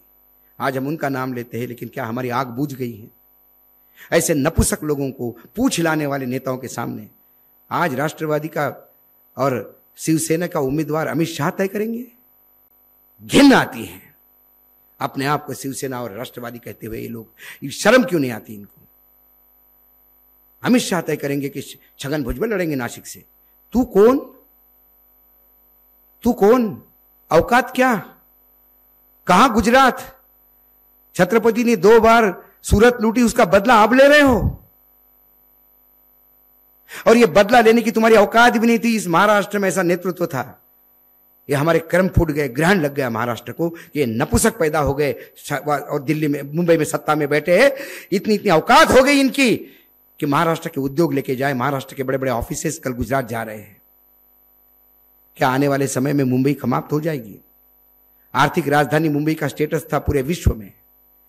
क्या वो गुजरात के टॉय सिटीज़ को चला जाएगा? और ये सब हम जानते हैं, पहचानते हैं, समझते हैं। हम चुप क्यों हैं? क्यों हमें आग नहीं लगती? क्यों हम भगत सिंह हमेशा पड़ोस के घर में पैदा करवाते हैं? कभी अपने भी घर में होने दीजिए। हमने और आपने उम्र जी ली है। याद रखिएगा आने वाली पीढ़ी श्राद्ध के दिन अपने को खाना नहीं खिलाएगी, अपने नाम की थाली नहीं निकालेगी, जूते से फ़ोटो को पीटेगी। ऐसी सरकारें तुमने इस देश को दी है, तुम्हारे समय, जिसका खामियाजा आज भी हम भुगत रहे हैं। 2023 में नरेंद्र मोदी की सरकार ने 50 साल के बॉन्ड लिए हैं। 2073 में जो सरकार आएगी, उसको ये कर्ज चुकाना होगा। तब वो सर पे हाथ रखेगा कि 50 साल पैसे कैसे कैसे लोग थे जो इतना कर्जा छोड़ के गए। ये मामला आपके भविष्य की पीढ़ी का है। हमने ज़िंदगी जी ली, इसलिए चुप मत रहिए। भविष्य को कुछ तो देना चाहिए। यदि मैं आज पत्रकारिता के साथ साथ भी ये काम कर रहा हूँ तो क्यों कर रहा हूँ? हनुमान चालीसा हनुमान चालीसा करते हैं ना? हनुमान चालीसा क्या है? हनुमान चालीसा के मायने क्या है? हनुमान चालीसा वो पाठ है। वो इसलिए नहीं पढ़ा जाता था कि हनुमान जी को खुश करे। हनुमान चालीसा, हनुमान जी को इसलिए पढ़, उनके सामने गाई जाती है कि हनुमान जी को अपने शक्ति का एहसास हो। हनुमान जी शक्तिशाली थे, लेकिन उनको एक श्राप था कि वो शक्ति भूल जाते थे। तो उस हनुमान को बार बार हनुमान जी को बताने के लिए तू कितना शक्तिशाली है। ये बताने के लिए हनुमान चालीसा हम पढ़ते हैं। हनुमान चालीसा का एक एक शब्द देखिए तो आपको हनुमान जी की महिमा मंडन करने के लिए कि तू क्या है ये बताने के लिए करते हैं। आज जो मैं बोल रहा हूँ, ये हनुमान चालीसा गा रहा हूँ। और मेरा हनुमान मेरे सामने बैठा हुआ है। यदि हनुमान, इस हनुमान चालीसा भी नहीं जगेगा तो फिर रावण का राज्य आएगा। और इस, उस समय सीता का हरण हो गया था, लोकतंत्र का हरण होगा। इसलिए जन जागरण मैं मोदी के खिलाफ नहीं हूँ, अमित शाह के खिलाफ नहीं हूँ। कोई मेरा जाति दुश्मनी किसी से नहीं है। ना भाजपा से है, ना कांग्रेस से है। राहुल गांधी को एक अप्रैल के दिन जब मुलाकात हुई, तब भी मैंने उनको कहा कि मैंने कहा कि बीजेपी तकलीफ़ देती है बात नहीं है। जब आप सरकार में थे तो आपने भी तकलीफ़ दी हमको, क्योंकि तब सवाल हम भी पूछ रहे थे। पत्रकारिता में आए तो तकलीफ़ तो होगी। तो जब ओखली में सर दिया तो फिर क्या देखना ऊपर से क्या गिर रहा है? लेकिन जब देश संकट में होगा तो रस्ते पे निकलना होगा। लोहिया जी ने कहा था कि जब सड़कें सुनी हो जाती है तो संसद आवारा हो जाती है। मेरी संसद आवारा ही नहीं हुई, पागल सांड बन चुकी है। समाज को रोंद रही है, लगातार संविधान को रोंद रही है, और इस लोकतंत्र को अपने सिंह पे लेके दूर दूर तक फेंक के, उसके छीतड़े उड़ा रही है। अब भी सड़कें सुनी रहेगी क्या? सड़कें आबाद करनी होगी। सड़कों पे उतरना होगा। एक बार फिर से संघर्ष करना होगा। और वो संघर्ष लोकतंत्र बचाने के लिए है, ना किसी राजनीतिक दल के लिए। लोकतंत्र बचाने के लिए है, संविधान बचाने के लिए है। हमारे यहाँ हमने वो भी सरकारें देखी, चरण सिंह की, कि जिन्होंने कभी हाउस फेस ही नहीं किया। लेकिन उन्होंने भी ये घिनौने काम नहीं किए जो वर्तमान में हो रहे हैं। कभी किसी सरकार ने हिंदू मुसलमान करने का प्रयास नहीं किया। क्या दो साधु महाराष्ट्र में मारे जाते हैं? तो महाराष्ट्र की सरकार इतनी घिनौनी हो गई कि उद्धव ठाकरे ने मरवाए सोनिया गांधी को खुश करने के लिए। और उसके बाद 120 साधुओं की हत्या होती है उत्तर प्रदेश में। 120 साधुओं की हत्या। लिस्ट है मेरे पास, मैंने एक प्रोग्राम करके पूरी लिस्ट सुनवाई है। योगी आदित्यनाथ इसके लिए दोषी नहीं है। आप व्याभिचार करो तो भी सदाचार और दूसरा, सदाचार करेंगे तो भी व्याभिचार ये बदलती हुई परिभाषा है। यह हम सब के लिए बड़ा खतरा है। इसी खतरे को आगाह करने के लिए बार बार आपके बीच में आना पड़ रहा है, बोलना पड़ रहा है। तकलीफें सब कुछ होती है। यदि अच्छी ज़िंदगी जीना चाहूँ तो मैं भी एक बार गले में पटका बांधो रे बोलूँ कि मोदी से बढ़िया प्राइम मिनिस्टर नहीं हुआ तो मैं भी चौपर में घूमूँगा, फाइव स्टार में रहूँगा, मुझे भी कोई तकलीफ़ नहीं है। लेकिन फिर मेरा दायित्व क्या है? यदि जन्म मैंने सिर्फ़ भोग भोगने के लिए लिए है तो वो तो फिर कुछ भी काम करके करेंगे। पत्रकारिता जैसे पवित्र पेशे में आना नहीं चाहिए। और यदि आया तो उसकी पवित्रता को निभाने के लिए जो करना होगा वो करना पड़ेगा। यदि हमारे लिए उन्होंने अखबार बंद कर दिए, टेलीविज़न बंद कर दिए तो सोशल मीडिया हो गया। किसी ने मुझे कहा कि सोशल मीडिया बंद हो जाएगा तो आप क्या करोगे? मैंने बोला, बस स्टेशन पे जाऊँगा। जो बस भरी हुई मिलेगी उस पर चढ़ूँगा। और जैसे लोग बस में सामान बेचते हैं, वैसे मैं लोगों को बोलूँगा। ये भाई साहब, जरा दो मिनट खड़े रहना। बहन जी, बच्चे को संभालो जरा। दो मिनट दो मिनट दो मिनट। मैं अशोक वानखड़े कल अपने देश का बजट आया है, ये बजट कितना घिनौना है, आपके लिए कितना घातक है बताना चाहता हूँ। दो मिनट लगेंगे, बहन जी बहन जी जरा संभालिए। देखिए, भाई साहब सुन लीजिए, उनको दस मिनट बोल के नीचे आऊँगा, दूसरी बस में चढ़ूँगा। कम्युनिकेशन कोई रोक नहीं सकता। संवादहीनता होने नहीं दूँगा। यह प्रण मैंने लिया है, क्योंकि मेरा दायित्व बनता है कि मरने के पहले इस देश को कुछ दे के जाऊँ। कुत्ते बिल्ली भी जन्म लेते हैं। आपको कुछ करने की ज़रूरत नहीं है। मैं ये नहीं कह रहा हूँ कि आप भी उठ के माइक लेके निकल लो। लेकिन जो विचार आपने सुने, यदि आपको लगा कि आपने मैंने सही बोला, यदि आपको लगा कि मैंने ठीक कहा, यदि आपको लगा कि मेरे विचारों में कोई तथ्य है तो बस एक काम करिए, इस विचारों को ज़िंदा रखिए। आपके कोई मित्र हो, उनसे बोलिए। ये जो ट्रोल एजेंसी है ना, जो आएगा तो मोदी ही, छोड़ दीजिए इनको। ये तो ये तो चिल्लाते रहेंगे, आएगा तो मोदी ही। वो जितने ताकत से कहते आएगा तो मोदी ही, हम भी कहते जाएगा तो मोदी ही। तो किसी ने मुझे कहा कि मोदी को जाने का तुम्हें क्या प्रॉब्लम है यार? मोदी के आने से क्या प्रॉब्लम और जाने का प्रॉब्लम क्या है? मैंने जाएगा मोदी तो लोकतंत्र आएगा। जाएगा मोदी तो संविधान रहेगा। जाएगा मोदी तो लॉ एंड ऑर्डर रहेगा। जाएगा मोदी तो इस देश का जो ताना बना है, जंग, गंगा जमुना जो समाज में जो है, बना हुआ, वो रहेगा। मैं कल मुस्लिम भाइयों के बीच में बोल रहा था। हमारे रायगढ़ में एक, रायगढ़ ज़िले में एक गाँव है। उस गाँव में एक मस्जिद है। उस गाँव में दिवाली के दिन दिवाली की नमाज़ पढ़ी जाती है। मेरे यहाँ कई मुस्लिम बंधु आए होंगे। कोई बताने को तैयार नहीं दिवाली को कोई नमाज़ होती नहीं। बोले, कहीं नहीं होती। बोले, वहाँ होती है। चार पाँच गाँव घर है मुसलमानों के। एक छोटी मस्जिद है। दिवाली का लक्ष्मी पूजन होने के बाद कोई अपने फटाके नहीं फोड़ता। लक्ष्मी पूजन होने के बाद सब लोग मस्जिद पे आते हैं। जब पूरा गाँव मस्जिद पे इकट्ठा होता है तो वो पाँच परिवार वहाँ नमाज़ पढ़ते उसको दिवाली की नमाज़ करते हैं। और उनके नमाज़ के बाद फिर मिठाइयाँ बटनी चालू हो जाती है, और फिर फटाके फूटने होता है यह है मेरा हिंदुस्तान। राम नवमी के दिन जब राम की रथ यात्रा निकलती है तो उसमें राम और लक्ष्मण बनने वाले दो मुसलमान लड़के होते हैं यह है मेरा हिंदुस्तान। मेरा हिंदुस्तान इनके कहने से नहीं होगा। मेरा हिंदुत्व इनका, इनके बाप का नहीं है। राम इनके बाप का नहीं है। शिव इनके बाप के नहीं है। वो मेरे भी उतने हैं जितने इनके हैं। और मैं मेरे हिसाब से उनको मानूँगा। मैं मेरे शंकराचार्य को मानता हूँ। मेरी परंपराओं को मानता हूँ। ना आप शंकराचार्य को मानते हो, ना परंपराओं को मानते हो। आप सिर्फ़ अपने आप को मानते हो। आपको अधूरे मंदिर में राम लला को इसलिए बिठाना था क्योंकि चुनाव में उसको बताना था।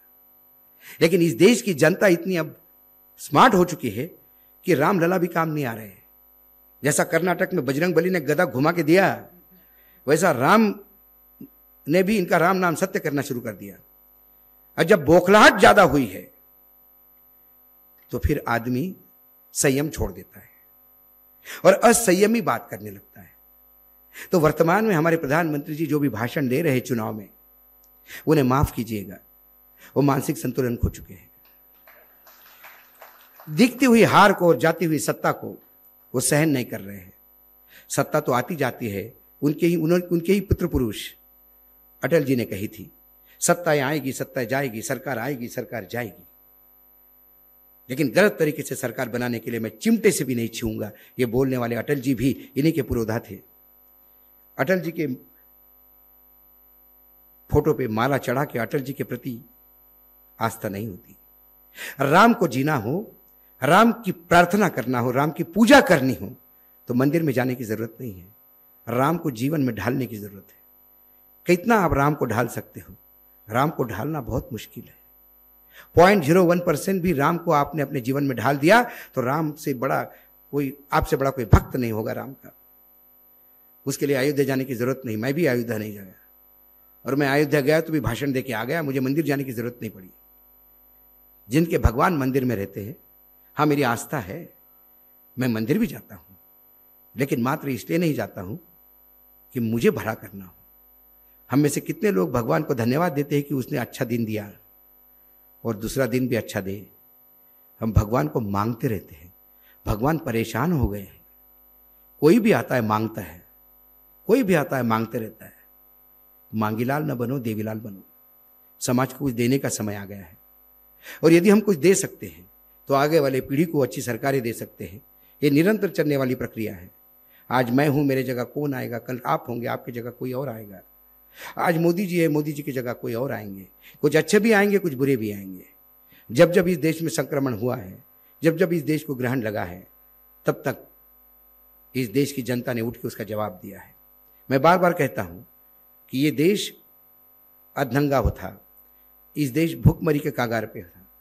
इस देश के लोग परेशान हैं। समस्याओं से जूझ रहे हैं, लेकिन मूर्ख नहीं है। समय आने पे यही लोग ताकत से आईना दिखाते हैं, कितना भी शक्तिशाली था। इंदिरा जी बहुत शक्तिशाली थी, पढ़ी लिखी थी।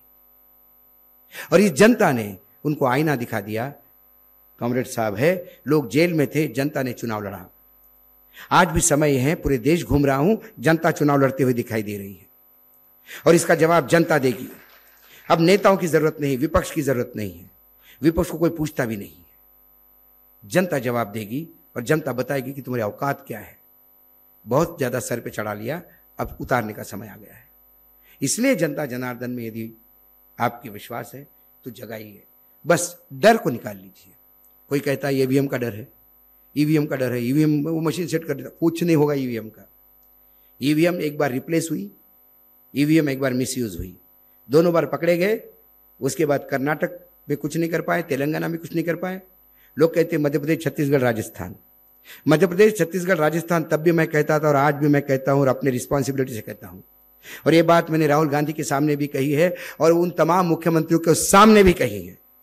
राजस्थान, मध्य प्रदेश और छत्तीसगढ़ तीनों मुख्यमंत्री अडानी के पेरोल पे थे, बिक चुके थे, इन्होंने अपनी सरकारें बेच दी। ये सत्य पूरी पार्टी जानती है। इसीलिए इन तीनों मुख्यमंत्रियों के खिलाफ जो कैसे चल रहे थे, आज कहीं आवाज़ नहीं आ रही है। कोई नोटिस नहीं मिल रहा है? किसी को कोई बुलावा नहीं हो रहा है। सबने अपनी अपनी चमड़ी जमा ली। आपके यहाँ से मुशरफ साहब ने जैसे ही भगवा पहन के उधर चले गए और अपनी ईडी से मुक्ति पा ली, वैसे उन तीनों मुख्यमंत्रियों ने ईडी से मुक्ति पा ली। और एक तो बीजेपी में जाते जाते रह गए बेचारे, दरवाजे नहीं खुला टाइम पे। तो वापस आना पड़ा, कमलनाथ जी को। तो ईवीएम का खेल से डरो मत। बस, और ईवीएम का खेल भी हो रहा तो अपना खेल इतना बड़ा होना चाहिए कि ईवीएम से भी ज़्यादा। एक बेहतरीन कविता सामने आई, और मैं सोचता हूँ कि मैं आपके साथ शेयर करूँ। अभी अभी किसी ने मुझे भेजी है। दौरे इलेक्शन में कहा कोई इंसान नज़र आता है। मैंने कहा ना, कोल्हापुर को प्रयोगशाला मत बनने दीजिएगा। इसीलिए ये कोल्हापुर वासियों के लिए बहुत ज़रूरी है।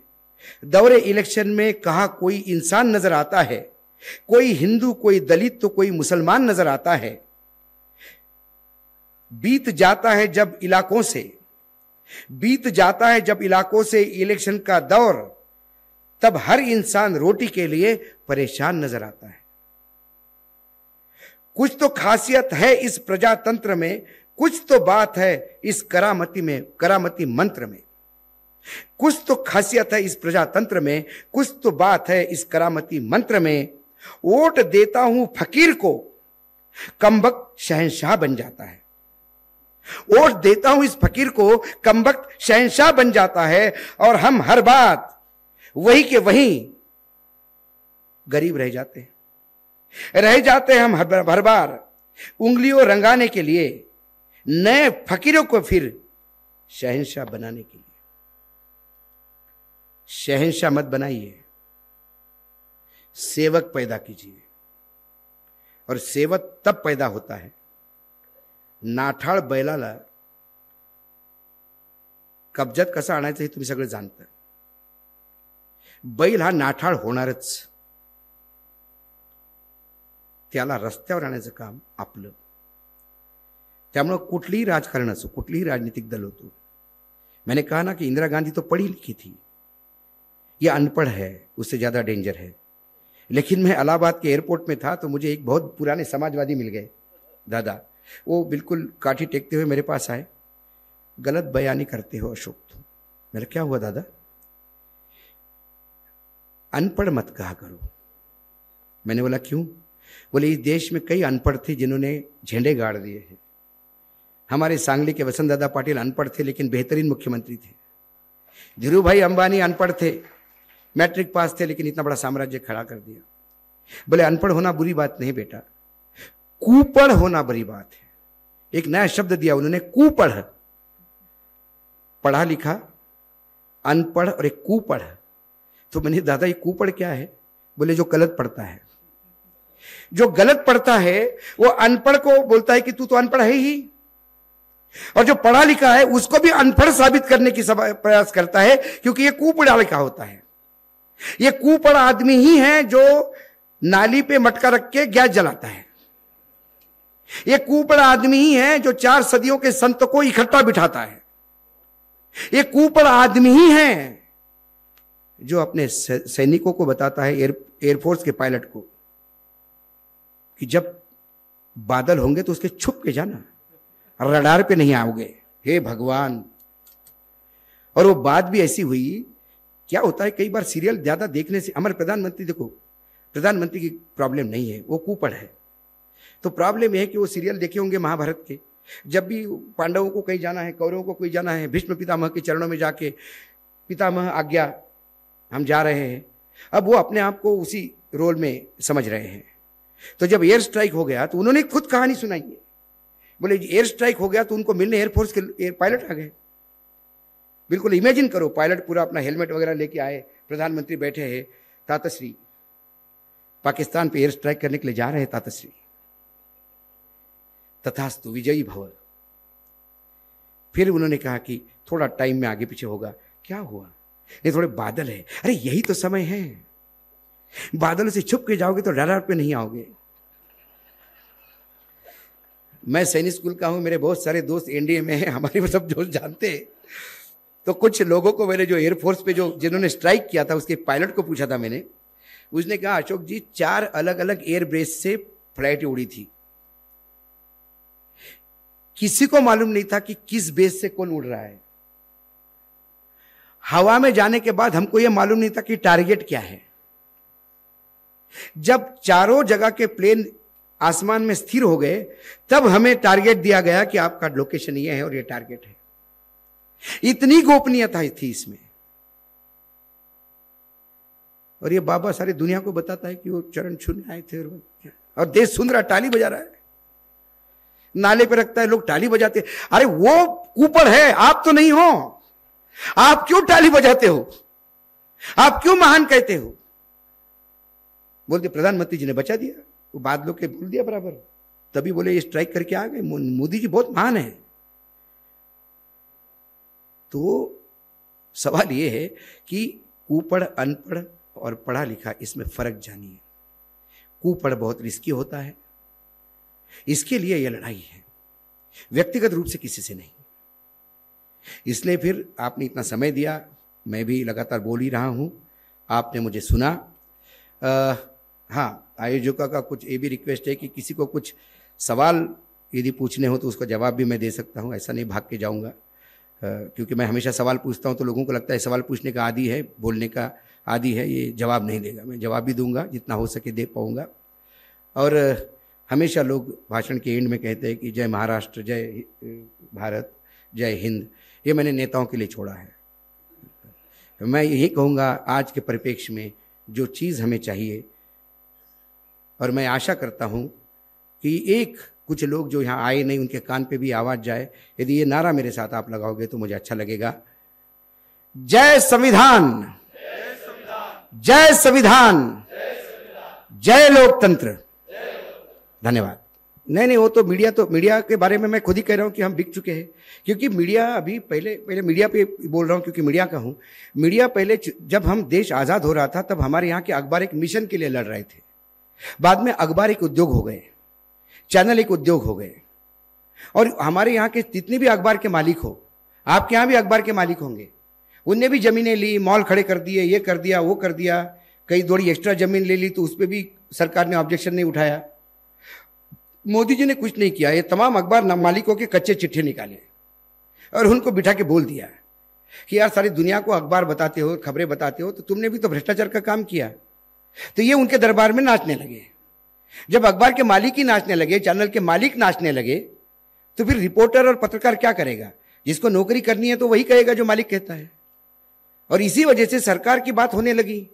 अब कुछ लोग ज़रूरत से ज़्यादा बोलते हैं। मुझे मालिक ने कहा थोड़ा बोल तो ये ज़्यादा ही बोलता है। ये अपनी लॉयल्टी दिखाने का प्रयास करता है ताकि मोदी जी खुश हो जाए तो किसी बड़े चैनल में नौकरी लगवा दे। आजकल चैनलों और अखबारों में नौकरी लगवाने का काम नेता कर रहे हैं। इसलिए मीडिया से आप कोई अपेक्षा मत करिएगा। लेकिन सूचना के तंत्र कम्युनिकेशन ये बड़ा व्यापक है। तो मैंने कहा कि यूट्यूब चालू हो गए। हमारे यूट्यूब में भी कुछ लोग घुस गए हैं। अब कोई किसी को रोक तो नहीं सकता। लेकिन सच्चाई क्या है, ये आपको जब सामने आती है तो फिर वो आप आप खुद समझ सकते हैं कि आप क्या महसूस करते हैं और सामने वाला क्या बोल रहा है। रही न्यायपालिका की बात। न्यायपालिका सर्वोच्च न्यायालय की हम बात करें तो सर्वोच्च न्यायालय में कई जजेस हैं। सर्वोच्च न्यायालय के मुख्य न्यायाधीश उसे रोस्टर ऑफ़ द मास्टर कहते हैं। वो मुख्य न्यायाधीश होने के नाते कोई उनको विशेष अधिकार नहीं है। वो बाकी जजेस के समान ही हैं। सिर्फ़ ड्यूटी जो लगाते हैं अलग अलग बेंचेस का जो रोस्टर लगता है, वो वो लगवाते हैं, इसको, इसके लिए उनको roast, master of the roster कहते हैं। अब मुख्य न्यायाधीश भले ही अच्छे हो, लेकिन 25 न्यायाधीशों में यदि चार संगी हो गए तो आप क्या कर सकते हैं? ऐसा तो नहीं कर सकते कि उनके पास कोई केस ही नहीं जाए। कुछ तो केसेस जाएँगे। और जब केसेस ऑर्डनरी वे में जाते हैं, क्योंकि एक जज ने कुछ केसेस अपने हाथ से लगाने का प्रयास किया तो छह जजेस ने उसके खिलाफ प्रेस कॉन्फ्रेंस ली थी। वो भी बात आपको याद होगी। इसीलिए जनरली जो केस अपने पास है, उसका वो खेल करते हैं या बात करते हैं। कुछ बेंचेस, घोषित बेंचेस है। कि जिससे हमें पहले से पता पड़ता है कि इसमें क्या नतीजा आएगा। बिल्कुल पता पड़ता है। वीवीपैट का जब केस था तो हमने वही कहा, मैंने बोला ये सब बोलना हो गया। दूसरी बात, मीडिया का रोज का रिपोर्टिंग जिस हिसाब से कोर्ट का हो रहा है, कुछ जजेस भी थोड़े नेता बन गए हैं। वो भी केस के समय ऐसी ऐसी टिप्पणियाँ करते हैं कि हेडलाइन ले लेते हैं। हम भी प्रोग्राम करते हैं कि आज फिर न्यायपालिका में आज जगी, फिर से आज चंद्रचूड़ ने ये कर दिया, वो कर दिया। और जब जजमेंट आता है तो एकदम उल्टा होता है। तो टिप्पणियाँ अलग ऑपरेटिव जजमेंट क्या कहता है? तो इसीलिए मैं हमेशा कहता हूँ कि आप महिमा मंडत मत हो जाओ। पहले ऑपरेटिव जजमेंट आने दो। ये कब यू टर्न लेंगे समझ में नहीं आता। तो न्यायपालिका में सभी टाइप के लोग मिलेंगे, क्योंकि हर समय सरकारें बदलती है तो अपने अपने लोग घुसेड़ने का प्रयास करते हैं। जो अंदर गए, उनका जमीर जागा तो ठीक है, नहीं जागा तो फिर ज़मीन मरा हुआ रहता है। इसमें न्यायपालिका की हत्या होती है। लेकिन फिर भी बाय एंड लार्ज फिर भी बाय एंड लार्ज बाकी जो स्तंभ है डेमोक्रेसी के, लोकतंत्र के, उसमें जितना कीड़ा लगा है, उससे कम डिटोरिएशन फिर भी जुडिशरी में है, ऐसा मैं मानता हूँ। फिर भी आज है कुछ। आशा की एक किरण लो दिखती है। बाकी विधायिका हो या ब्यूरोक्रेसी हो, वहाँ तो बस सब समाप्त हो गया। और चौथा स्तंभ जो हम अपने आप को जबरन कहते हैं, वो तो है ही नहीं। पहले था भी नहीं। और अब तो बिल्कुल ही खोखला हो गया। वो किसी काम का नहीं रहा।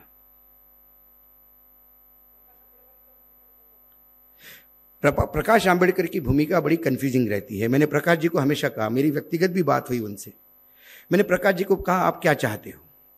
बोले, मैं भाजपा को हटाना चाहता हूँ। मैंने फिर भाजपा को हटाना चाहते हो तो ये इतनी बड़ी सेना निकली है तो उसमें जितना योगदान देना है वो योगदान दो। फिर उसमें मुझे क्या मिलेगा ये कहाँ से आ गया? अब वो महाराष्ट्र में सीटें चाहते हैं। उनका भी बड़ा अजीब है। मुझे तो कई बार लगता है, मैंने कई, एक दो बार बोला कि आप बीजेपी की टीम हो तो नाराज़ हो गए। फिर मैंने उनको कहा कि आपको महाभारत का जो किस्सा है, महाभारत में हम सब ये कहते कि भाई पाँच गाँव तो मांगे थे, और पाँच गाँव भी नहीं दिए। हम कौरव को कितना बदनाम करते हैं। लेकिन श्री कृष्ण ने वो पाँच गाँव मांगे थे, उसके बाद उस राज्य में कुछ बचता ही नहीं था। तो दुर्योधन बोला, तूने मांगा, ये मांग हमारे पास बचेगा क्या? जो सांगली मांग लिया सेना ने, और कांग्रेस को जो तकलीफ़ हो रही है, वैसे ही हुआ। तो ये पहले बोलते कि बहुत हमको बारह सीट चाहिए, फिर पाँच सीट पे आएँगे, और पाँच सीट पे आएँगे कि वो सीट मांगेंगे जो कोई दे नहीं सकता, फिर अलग होंगे कि अपमान हुआ। हम अपनी ताकत दिखा देंगे, और उस ताकत दिखाने में बीजेपी को जितवाते हैं। ओएसी और ये दोनों, इसमें पैसे का खेल भी होता है, सब कुछ होता है, ये सब हम जानते हैं। लेकिन जिसको जो करना है, यदि आज आज मुझे तो नहीं कोई बोलता, मुझे तो मैं कांग्रेस को भी गाली देता हूँ। कौन पॉलिटिकल पार्टी हमारे जैसे पत्रकार को, हमारी भी कहानी बड़ी अलग है, यदि आपके पास समय है तो एक छोटी कहानी और बताता हूँ। एक बहुत करोड़पति आदमी था, बहुत बड़ा एक्सपोर्टर था, खूब पैसा कमाया तो एक पचास लाख का कुत्ता खरीद के लाया ऑस्ट्रेलिया से। और बहुत कुत्ते को प्यार करता था। और कुत्ता अपने बिल्कुल घर, बेडरूम के अंदर उसके लिए अलग से घर, ये वो। वो कुत्ता हो गया बीमार। उसने अपने सबको बोला, भेट को बोला, ये देखो, वो देखो, सबने, उसने बोला कि साहब, इसको ये बीमारी होगी, इसका इलाज ही नहीं है। हाँ ऐसा हो नहीं सकता। ऐसा कैसा बोला, आप बोल रहे हो? तुम्हें कुछ नहीं आता है। वो सारे वेट को ट्राई किया। फिर दिल्ली में सबसे बड़ा वेटरनरी हॉस्पिटल राष्ट्रपति भवन का है, क्योंकि उनके वो घोड़ों का दल है इतना बड़ा। वहाँ लेके गया। उन्होंने कहा कि जो डिसीज है, ये बराबर बराबर पकड़ा है। लेकिन इस डिसीज का तोड़ नहीं निकला अभी। तो बड़ा मायूस हुआ, बोला, इसका कुछ भी नहीं हो सकता। बोला जर्मनी में एक डॉक्टर है, जो इसका रिसर्च कर रहा है। और वो संयोग से अगले वीक मुंबई आ रहा है एक कॉन्फ्रेंस में। ये पीछे पड़ गया, साहब, जितना खर्चा होगा चलेगा, लेकिन मुझे अपॉइंटमेंट लेके दो। तो उसको अपॉइंटमेंट लेके दिया। तो ये चार्टर्ड से कुत्ते को लेके गया। ताज होटल में स्पेशल परमिशन से कुत्ते को कमरे में लेके गया। उस डॉक्टर के कुछ दसक हज़ार डॉलर का फ़ीस जमा किया। वो डॉक्टर है इसके कमरे में, ऐसा कुत्ते को ऐसा बेड पे रखा था उसने। डॉक्टर ने चेक किया। बोला, आपके डॉक्टर सही कह रहे हैं, उसको वही बीमारी हुई है, इसका कोई इलाज नहीं। अरे बोले, महामहिम, आपको हमने इसलिए दिखाया कि आप इस पर रिसर्च कर रहे हैं। बोले, उसमें भी कोई गलती नहीं, मैं रिसर्च कर रहा हूँ, लेकिन मुझे अभी तक कोई ब्रेक नहीं मिला। तो मैं रिसर्च ही, जिस दिन ब्रेक मिलेगा तब तक मैं आऊँगा इलाज लेके। लेकिन तब तक ये बचेगा कि नहीं मुझे पता नहीं pray to the god have faith in god ऐसा बोलती कुत्ते को उठाया, बेड से नीचे पटक दिया। तो डॉक्टर बहुत गुस्से से चिल्लाया। बोला, पागल आदमी हो। जिस कुत्ते के लिए चार्टर्ड लेके आते हो, हज़ारों करोड़ रुपए, लाखों खर्चा किया तुमने। और इतना तुमने, ऐसा तुम नास्तिक आदमी हो। भगवान में विश्वास नहीं करते हो। बोला, साहब, मैं तो बहुत बड़ा आस्तिक हूँ। मैं तो भगवान पे विश्वास करता हूँ। लेकिन इस कुत्ते को भगवान मदद नहीं कर सकते। बोले, इतना गारंटी से क्यों कहते हो? बोले, एक भी मंदिर नहीं छोड़ा जहाँ इसने टांग ऊपर नहीं की होगी। तो हमारे जैसे पत्रकारों का हाल यही होता है। कौन सा राजनीतिक दल को टिकट देगा, कौन सा राजनीतिक दल मदद करेगा? बोलेगा, नहीं नहीं नहीं नहीं, वो कर्नाटक में वानखड़े बहुत कांग्रेस के खिलाफ बोलता है, कर्नाटक की सरकार को लेके। है फालतू आदमी है। बीजेपी वाले तो रोज भजन करते हैं मेरे नाम से। तो ये कुल मिला के ये लगातार सिस्टम चलता रहेगा।